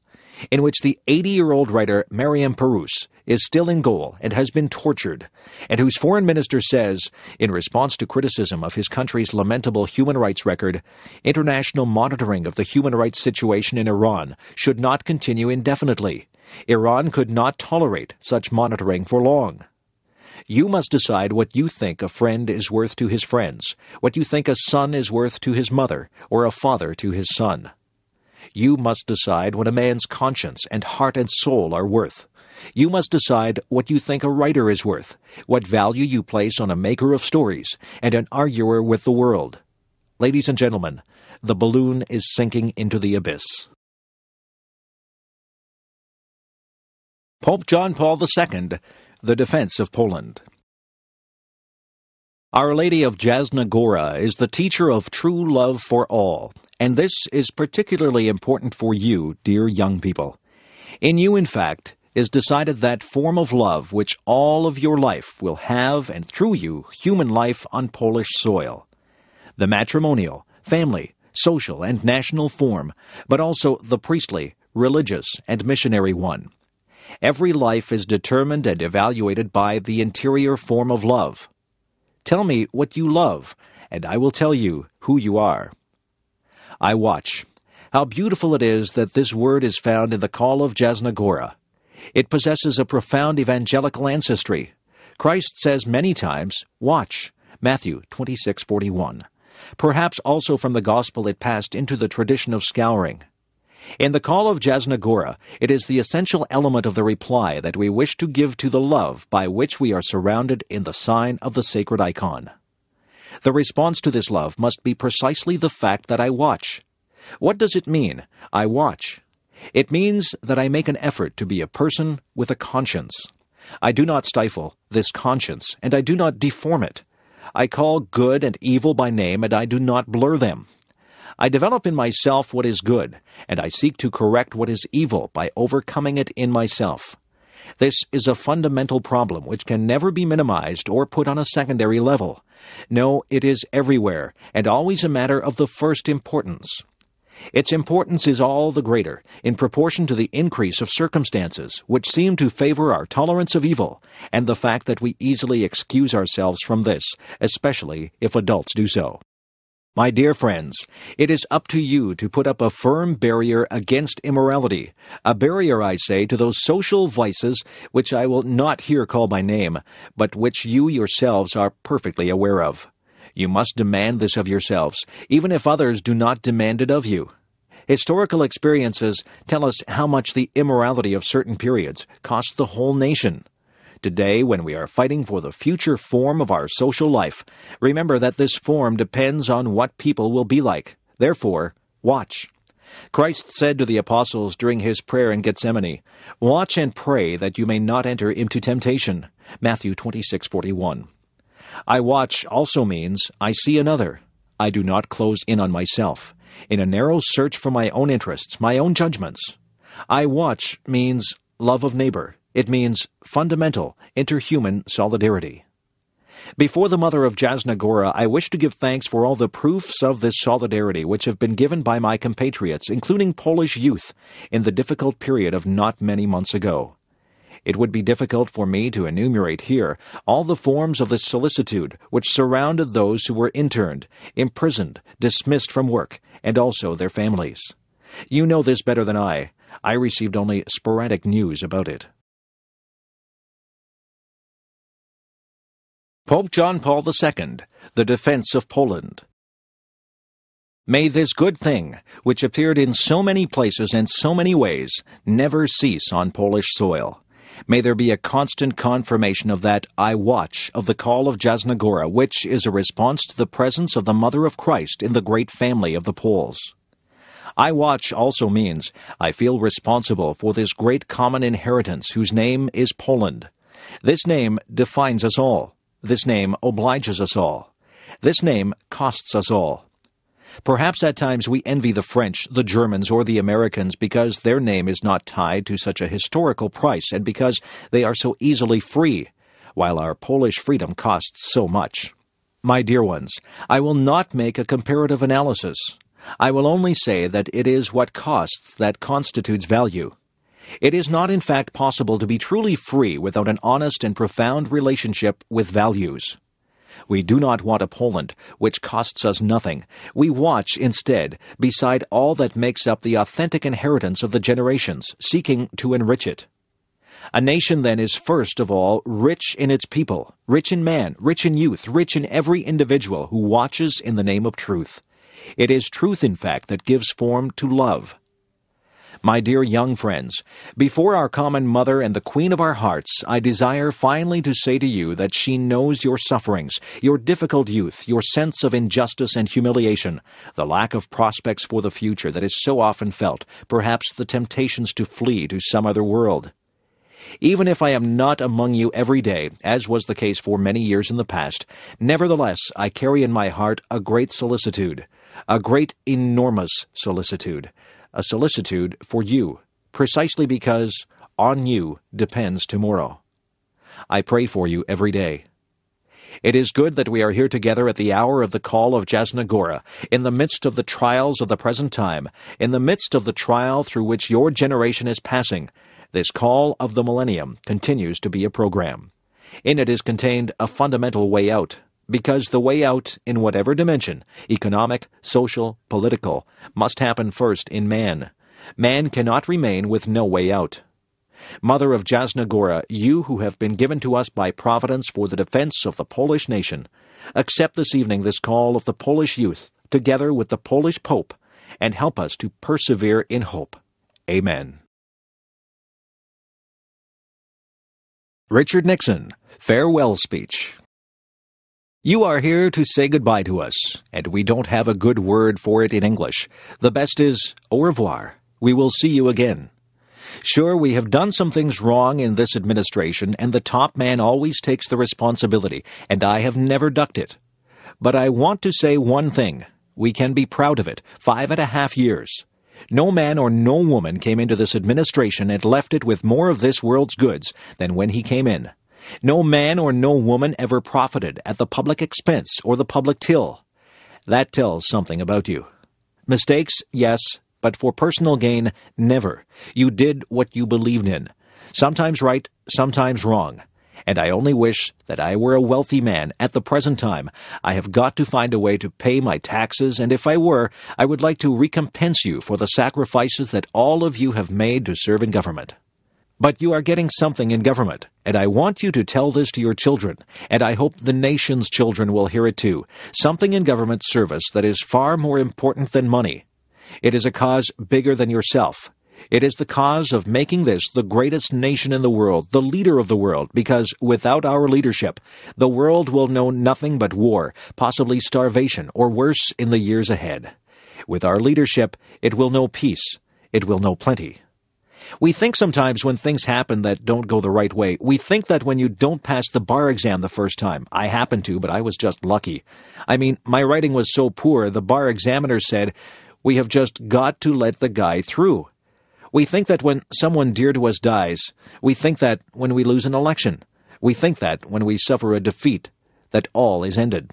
Not true. It is only a beginning, always. The young must know it. The old must know it. It must always sustain us because the greatness comes not when things go always good for you, but the greatness comes and you are really tested when you take some knocks, some disappointments, when sadness comes, because only if you have been in the deepest valley can you ever know how magnificent it is to be on the highest mountain.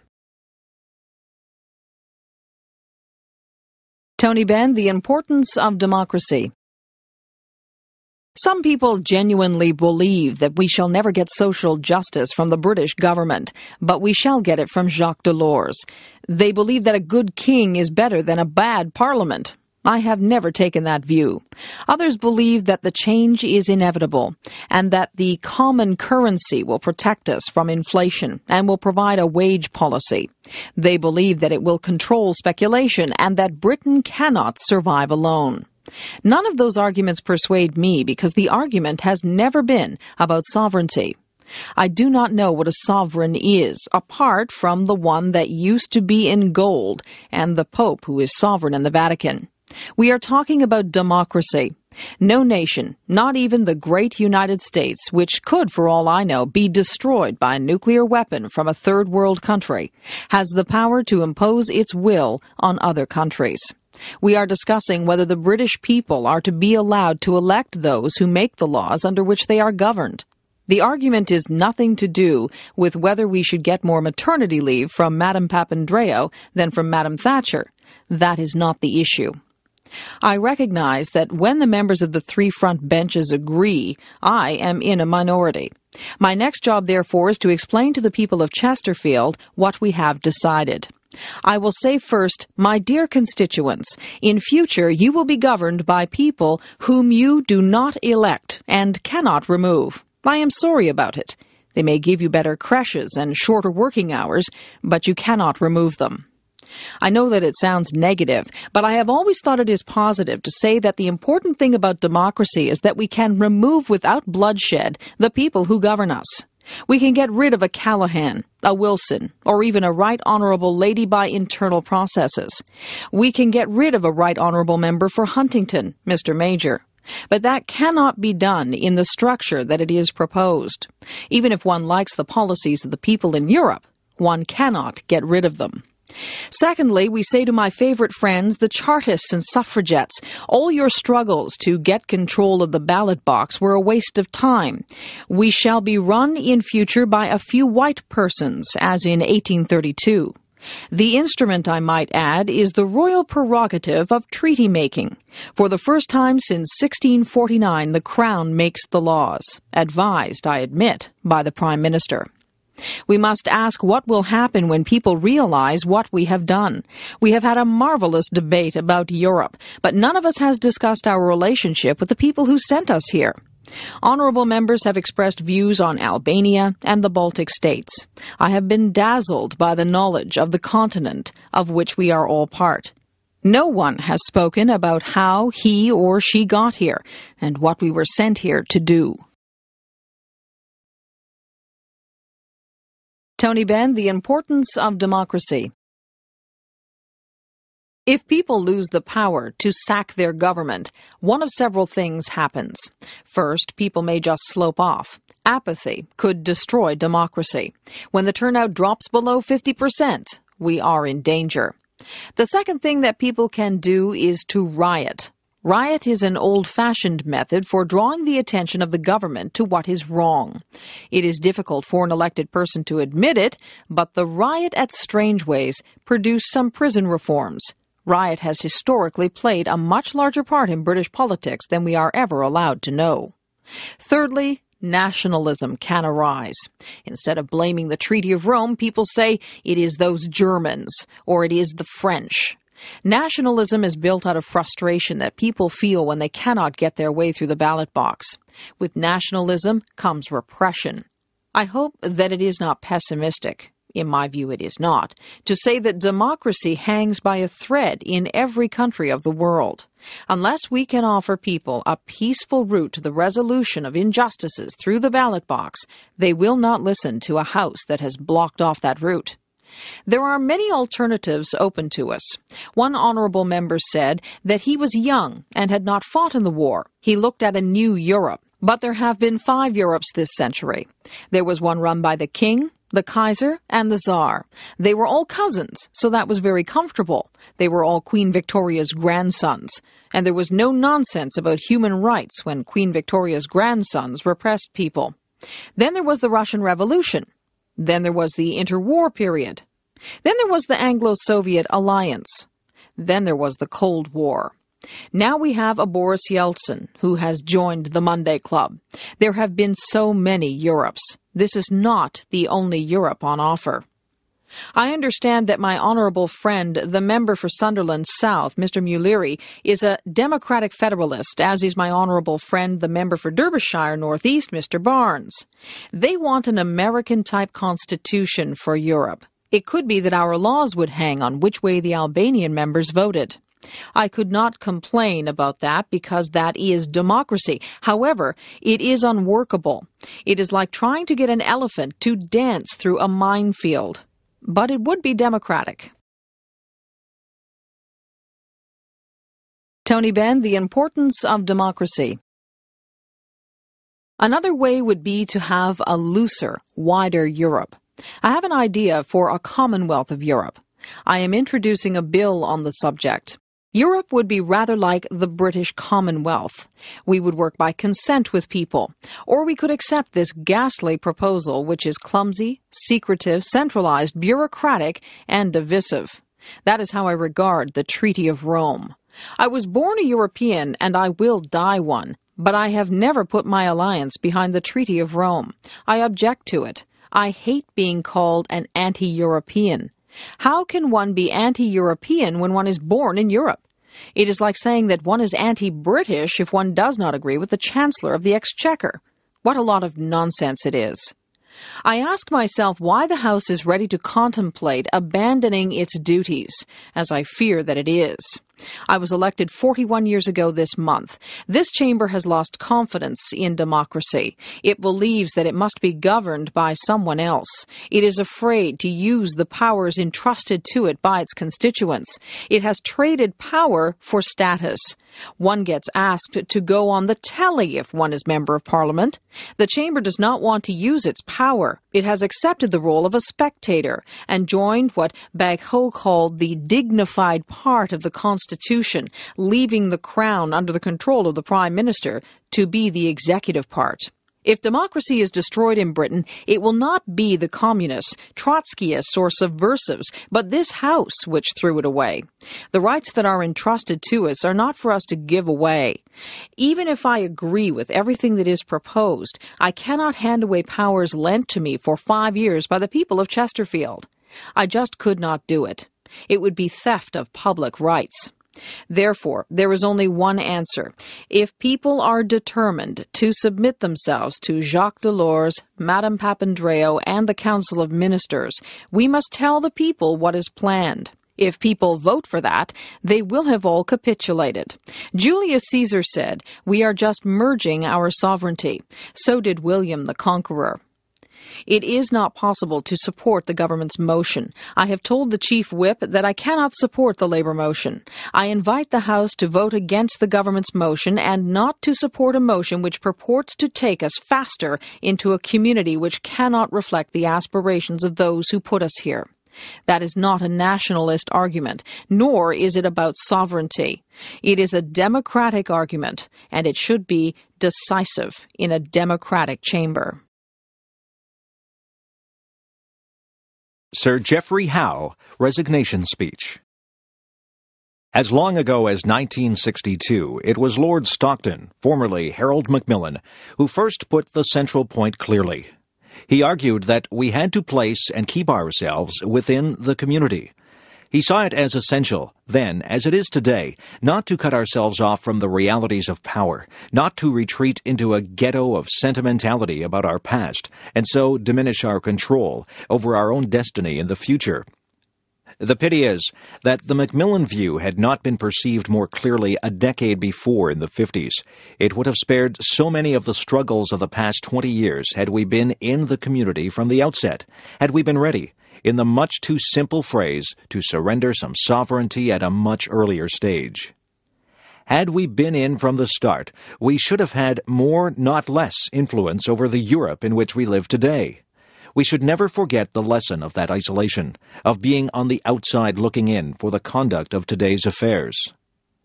We have done best when we have seen the community not as a static entity to be resisted and contained, but as an active process which we can shape often decisively, provided we allow ourselves to be fully engaged in it with confidence and enthusiasm and in good faith. We must at all costs avoid presenting ourselves yet again with an oversimplified choice, a false antithesis, a bogus dilemma between one alternative starkly labeled cooperation between independent sovereign states and a second, equally crudely labeled alternative, a centralized federal superstate, as if there were no middle way in between. We commit a serious error if we think always in terms of surrendering sovereignty and seek to stand pat for all time on a given deal by proclaiming, as the Prime Minister did two weeks ago, that we have surrendered enough. The European enterprise is not and should not be seen like that, as some kind of zero sum gain. Sir Winston Churchill put it much more positively 40 years ago when he said, Is it not possible, and not less agreeable, to regard this sacrifice or merger of national sovereignty as the gradual assumption by all the nations concerned of that larger sovereignty which can alone protect their diverse and distinctive customs and characteristics and their national traditions? I find Winston Churchill's perception a good deal more convincing and encouraging for the interests of our nation than the nightmare image sometimes conjured up by the Prime Minister, who sometimes seems to look out on a continent that is positively teeming with ill intentioned people scheming, in her words, to extinguish democracy, to dissolve our national identity, to lead us through the back door into a federal Europe. Sir Geoffrey Howe, Resignation Speech. What kind of vision is that for our business people who trade there each day, for our financiers who seek to make London the money capital of Europe, or for all the young people of today? These concerns are especially important as we approach the crucially important topic of EMU. We must be positively and centrally involved in this debate and not fearfully and negatively detached. The cost of disengagement here could be very serious indeed. The tragedy is, and it is for me personally, for my party, for our whole people, for the Prime Minister herself, a very real tragedy, that the Prime Minister's perceived attitude towards Europe is running increasingly serious risks for the future of our nation. It risks minimizing our influence and maximizing our chances of being once again shut out. We have paid heavily in the past for late stars and squandered opportunities in Europe. We dare not let that happen again. If we detach ourselves completely as a party or as a nation from the middle ground of Europe, the effects will be incalculable and very hard ever to correct. In my letter of resignation, which I tendered with the utmost sadness and dismay, I said that cabinet government is about trying to persuade one another from within. That was my commitment to government by persuasion, persuading colleagues and nation. I have tried to do that as Foreign Secretary and since, but realize now that the task has become futile, of trying to stretch the meaning of words beyond what was credible, of trying to pretend there was a common policy when every step forward risked being subverted by some casual comment or impulsive answer. The conflict of loyalty is loyalty to the Prime Minister, and after more than two decades together, that instinct of loyalty is still very real, and the loyalty to what I perceive to be the true interests of this nation. That conflict of loyalty has become all too great. I no longer believe it is possible to resolve that conflict from within this government. That is why I have resigned. In doing so, I have done what I believe to be right for my party and my country. The time has come for others to consider their response to the tragic conflict of loyalty with which I have wrestled myself for perhaps too long. Mario Cuomo. Ten days ago, President Reagan admitted that although some people in this country seem to be doing well nowadays, others were unhappy and even worried about themselves, their families, and their futures. The president said he didn't understand that fear. He said, Why, this country is a shining city on a hill. The president is right. In many ways, we are a shining city on a hill. But the hard truth is that not everyone is sharing in this city's splendor and glory. A shining city is perhaps all the president sees from the portico of the White House and the veranda of his ranch, where everyone seems to be doing well. But there's another part of the city, the part where some people can't pay their mortgages and most young people can't afford one where students can't afford the education they need, and middle class parents watch the dreams they hold for their children evaporate. In this part of the city, there are more poor than ever, more families in trouble, more and more people who need help but can't find it. Even worse, there are elderly people who tremble in the basements of the houses there. There are people who sleep in the city streets, in the gutter, where the glitter doesn't show. There are ghettos where thousands of young people, without an education or a job, give their lives away to drug dealers every day. There is despair, Mr. President, in faces you never see, in the places you never visit in your shining city. In fact, Mr. President, this nation is more a tale of two cities than it is a shining city on a hill. Maybe if you visited more places, Mr. President, you'd understand.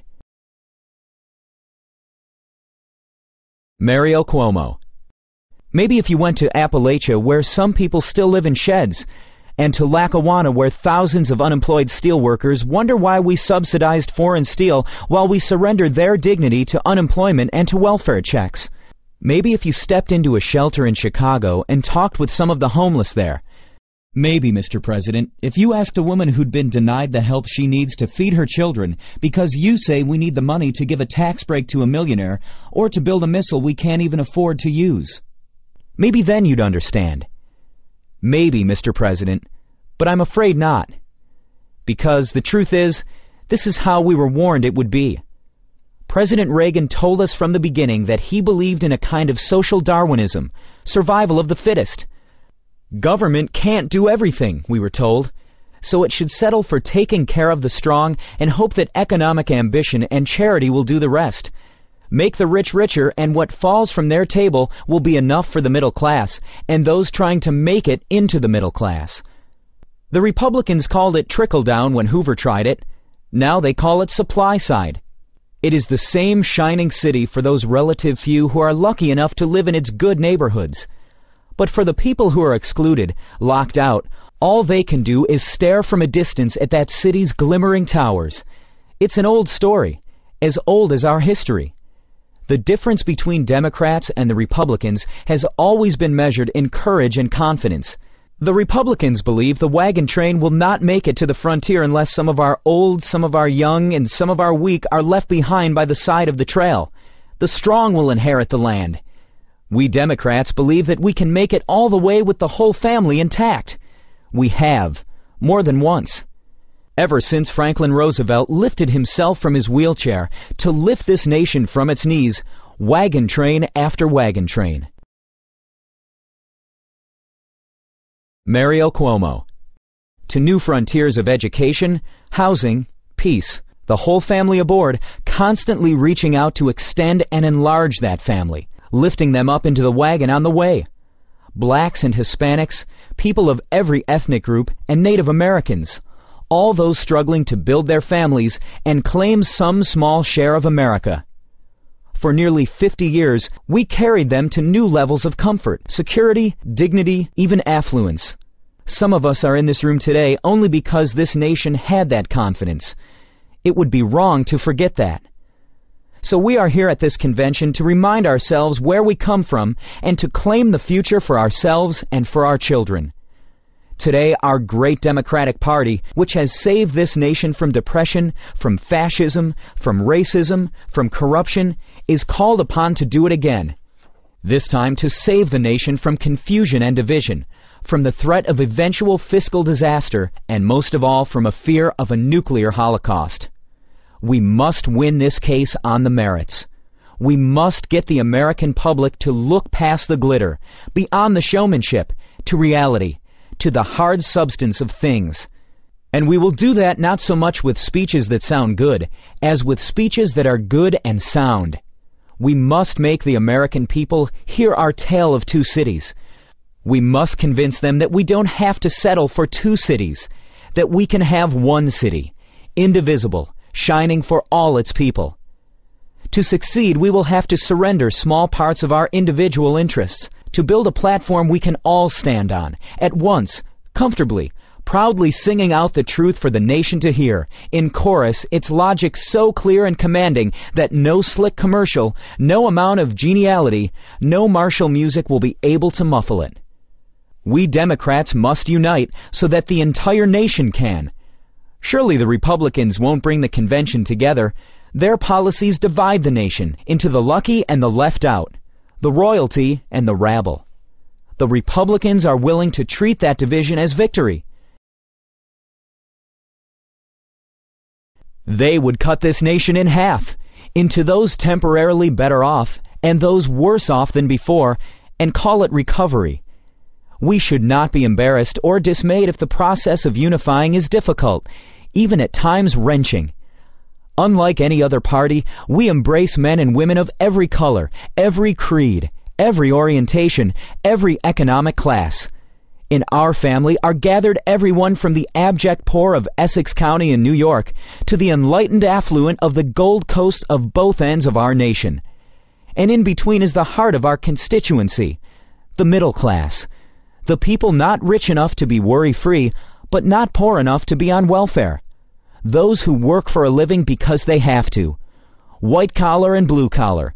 Young professionals, men and women in small business desperate for the capital and contracts they need to prove their worth. We speak for the minorities who have not yet entered the mainstream. For ethnics who want to add their culture to the mosaic that is America. For women, indignant that we refuse to etch into our governmental commandments the simple rule, Thou shalt not sin against equality. A commandment so obvious it can be spelled in three letters E R A. For young people demanding an education and a future.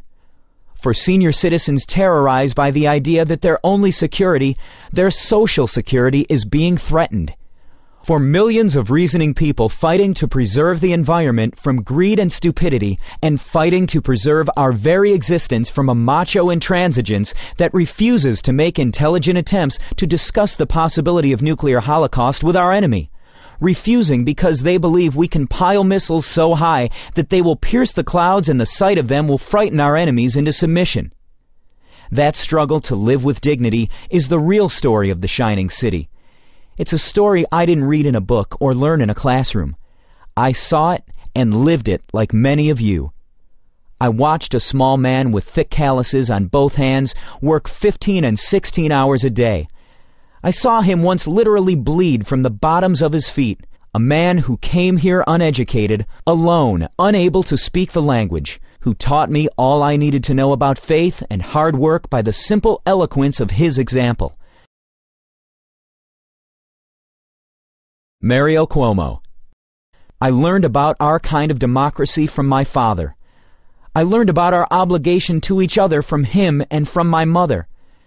They asked only for a chance to work and to make the world better for their children and to be protected in those moments when they would not be able to protect themselves.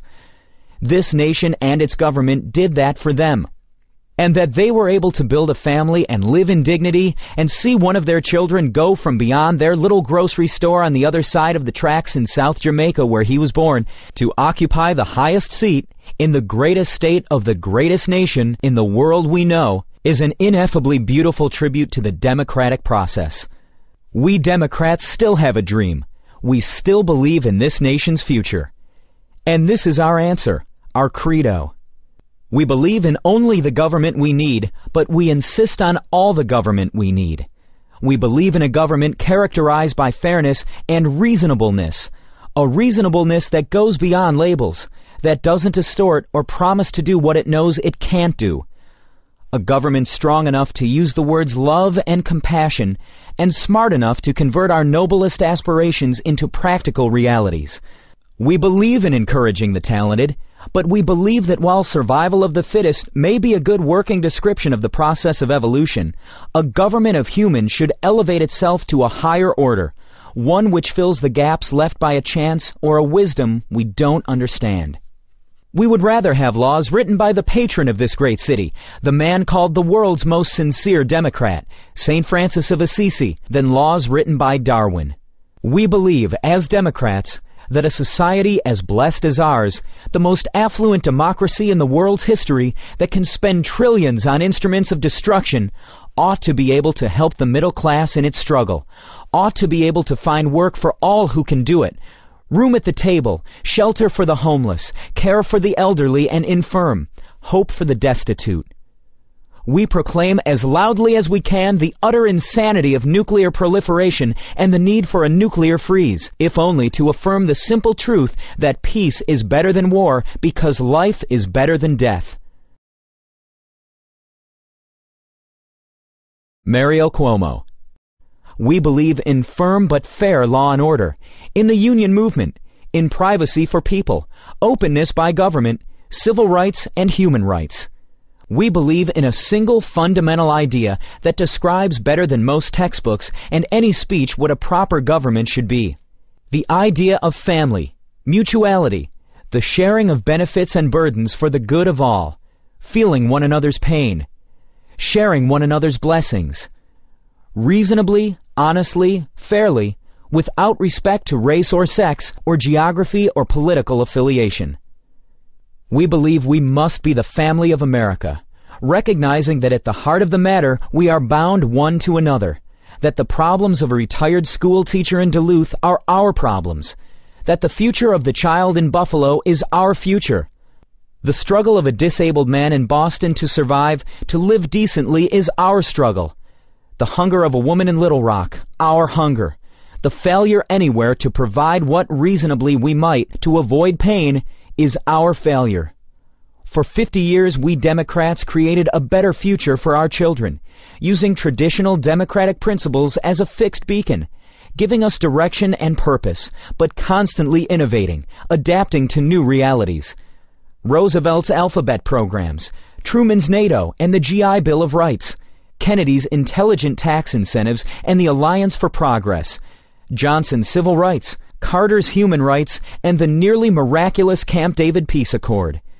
We will have America's first woman vice president, the child of immigrants, a New Yorker, opening with one magnificent stroke a whole new frontier for the United States. It will happen if we make it happen. I ask you, ladies and gentlemen, brothers and sisters, for the good of all of us, for the love of this great nation, for the family of America, for the love of God, please make this nation remember how futures are built. King Edward VIII. At long last, I am able to say a few words of my own. I have never wanted to withhold anything, but until now, it has not been constitutionally possible for me to speak. A few hours ago, I discharged my last duty as King and Emperor, and now that I have been succeeded by my brother, the Duke of York, my first words must be to declare my allegiance to him. This I do with all my heart. You all know the reasons which have impelled me to renounce the throne.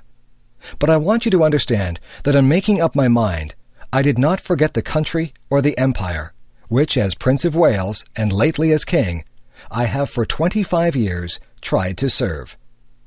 But you must believe me when I tell you that I have found it impossible to carry the heavy burden of responsibility and to discharge my duties as king as I would wish to do without the help and support of the woman I love. And I want you to know that the decision I have made has been mine, and mine alone. This was a thing I had to judge entirely for myself. The other person most nearly concerned has tried up to the last minute to persuade me to take a different course. I have made this the most serious decision of my life, only upon the single thought of what would, in the end, be best for all. This decision has been made less difficult to me by the sure knowledge that my brother, with his long training in the public affairs of this country, and with his fine qualities, will be able to take my place forthwith without interruption or injury to the life and progress of the empire. And he has one matchless blessing, enjoyed by so many of you, and not bestowed on me a happy home with his wife and children. During these hard days, I have been comforted by Her Majesty, my mother, and by my family. The ministers of the Crown, and in particular, Mr. Baldwin, the Prime Minister, have always treated me with full consideration. There has never been any constitutional difference between me and them, and between me and Parliament. Bred in the constitutional tradition by my father, I should never have allowed any such issue to arise. Ever since I was Prince of Wales, and later on when I occupied the throne, I have been treated with the greatest kindness by all classes of the people wherever I have lived or journeyed throughout the empire. For that I am grateful. I now quit altogether public affairs, and I lay down my burden. It may be some time before I return to my native land, but I shall always follow the fortunes of the British race and empire with profound interest. And if at any time in the future I can be found of service to His Majesty in a private station, I will not fail. And now we all have a new king. I wish him and you, his people, happiness and prosperity with all my heart. God bless you all. God save the king. Edward Kennedy, speech at 1980 Democratic Party Convention. There were hard hours on our journey, and often we sailed against the wind. But always we kept our rudder true, and there were so many of you who stayed the course and shared our hope. You gave your help, but even more, you gave your hearts. Because of you, this has been a happy campaign. You welcomed Joan, me, and our family into your homes and neighborhoods, your churches, your campuses, your union halls. When I think back of all the miles and all the months and all the memories, I think of you. I recall the poet's words, and I say, What golden friends I have. Among you, my golden friends across the land, I have listened and learned. I have listened to Kenny Dubois, a glassblower from Charleston, West Virginia, who has 10 children to support but has lost his job after 35 years, just three years short of qualifying for his pension. I have listened to the grandmother in East Oakland who no longer has a phone to call her grandchildren because she gave it up to pay the rent on her small apartment. I have listened to young workers out of work, to students without tuition for college, and to families without the chance to own a home. I have seen the closed factories and the stalled assembly lines of Anderson, Indiana, and Southgate, California, and I have seen too many, far too many idle men and women desperate to work. I have seen too many, far too many working families desperate to protect the value of their wages from the ravages of inflation. Yet I have also sensed a yearning for new hope among the people in every state where I have been. And I have felt it in their handshakes, I saw it in their faces, and I shall never forget the mothers who carried children to our rallies. I shall always remember the elderly who have lived in an America of high purpose and who believe that it can all happen again. Tonight, in their name, I have come here to speak for them, and for their sake, I ask you to stand with them. On their behalf, I ask you to restate and reaffirm the timeless truth of our party. I congratulate President Carter on his victory here. I am confident that the Democratic Party will reunite on the basis of democratic principles and that together we will march towards a Democratic victory in 1980. And someday, long after this convention, long after the signs come down, and the crowds stop cheering, and the bands stop playing, may it be said of our campaign that we kept the faith. May it be said of our party in 1980 that we found our faith again. And may it be said of us, both in dark passages and in bright days, in the words of Tennyson that my brothers quoted and loved, and that have special meaning for me now. I am a part of all that I have met. Though much is taken, much abides. That which we are, we are. One equal temper of heroic hearts, strong in will, to strive, to seek, to find, and not to yield. For me, a few hours ago, this campaign came to an end. For all those whose cares have been our concern, the work goes on, the cause endures, the hope still lives, and the dream shall never die. Abraham Lincoln, Second Inaugural Address. Fellow countrymen, at this second appearing to take the oath of the presidential office, there is less occasion for an extended address than there was at the first. Then a statement, somewhat in detail, of a course to be pursued seemed fitting and proper now at the expiration of four years, during which public declarations have been constantly called forth on every point and phase of the great contest which still absorbs the attention and engrosses the energies of the nation, little that is new could be presented. The progress of our arms, upon which all else chiefly depends, is as well known to the public as to myself, and it is, I trust, reasonably satisfactory and encouraging to all.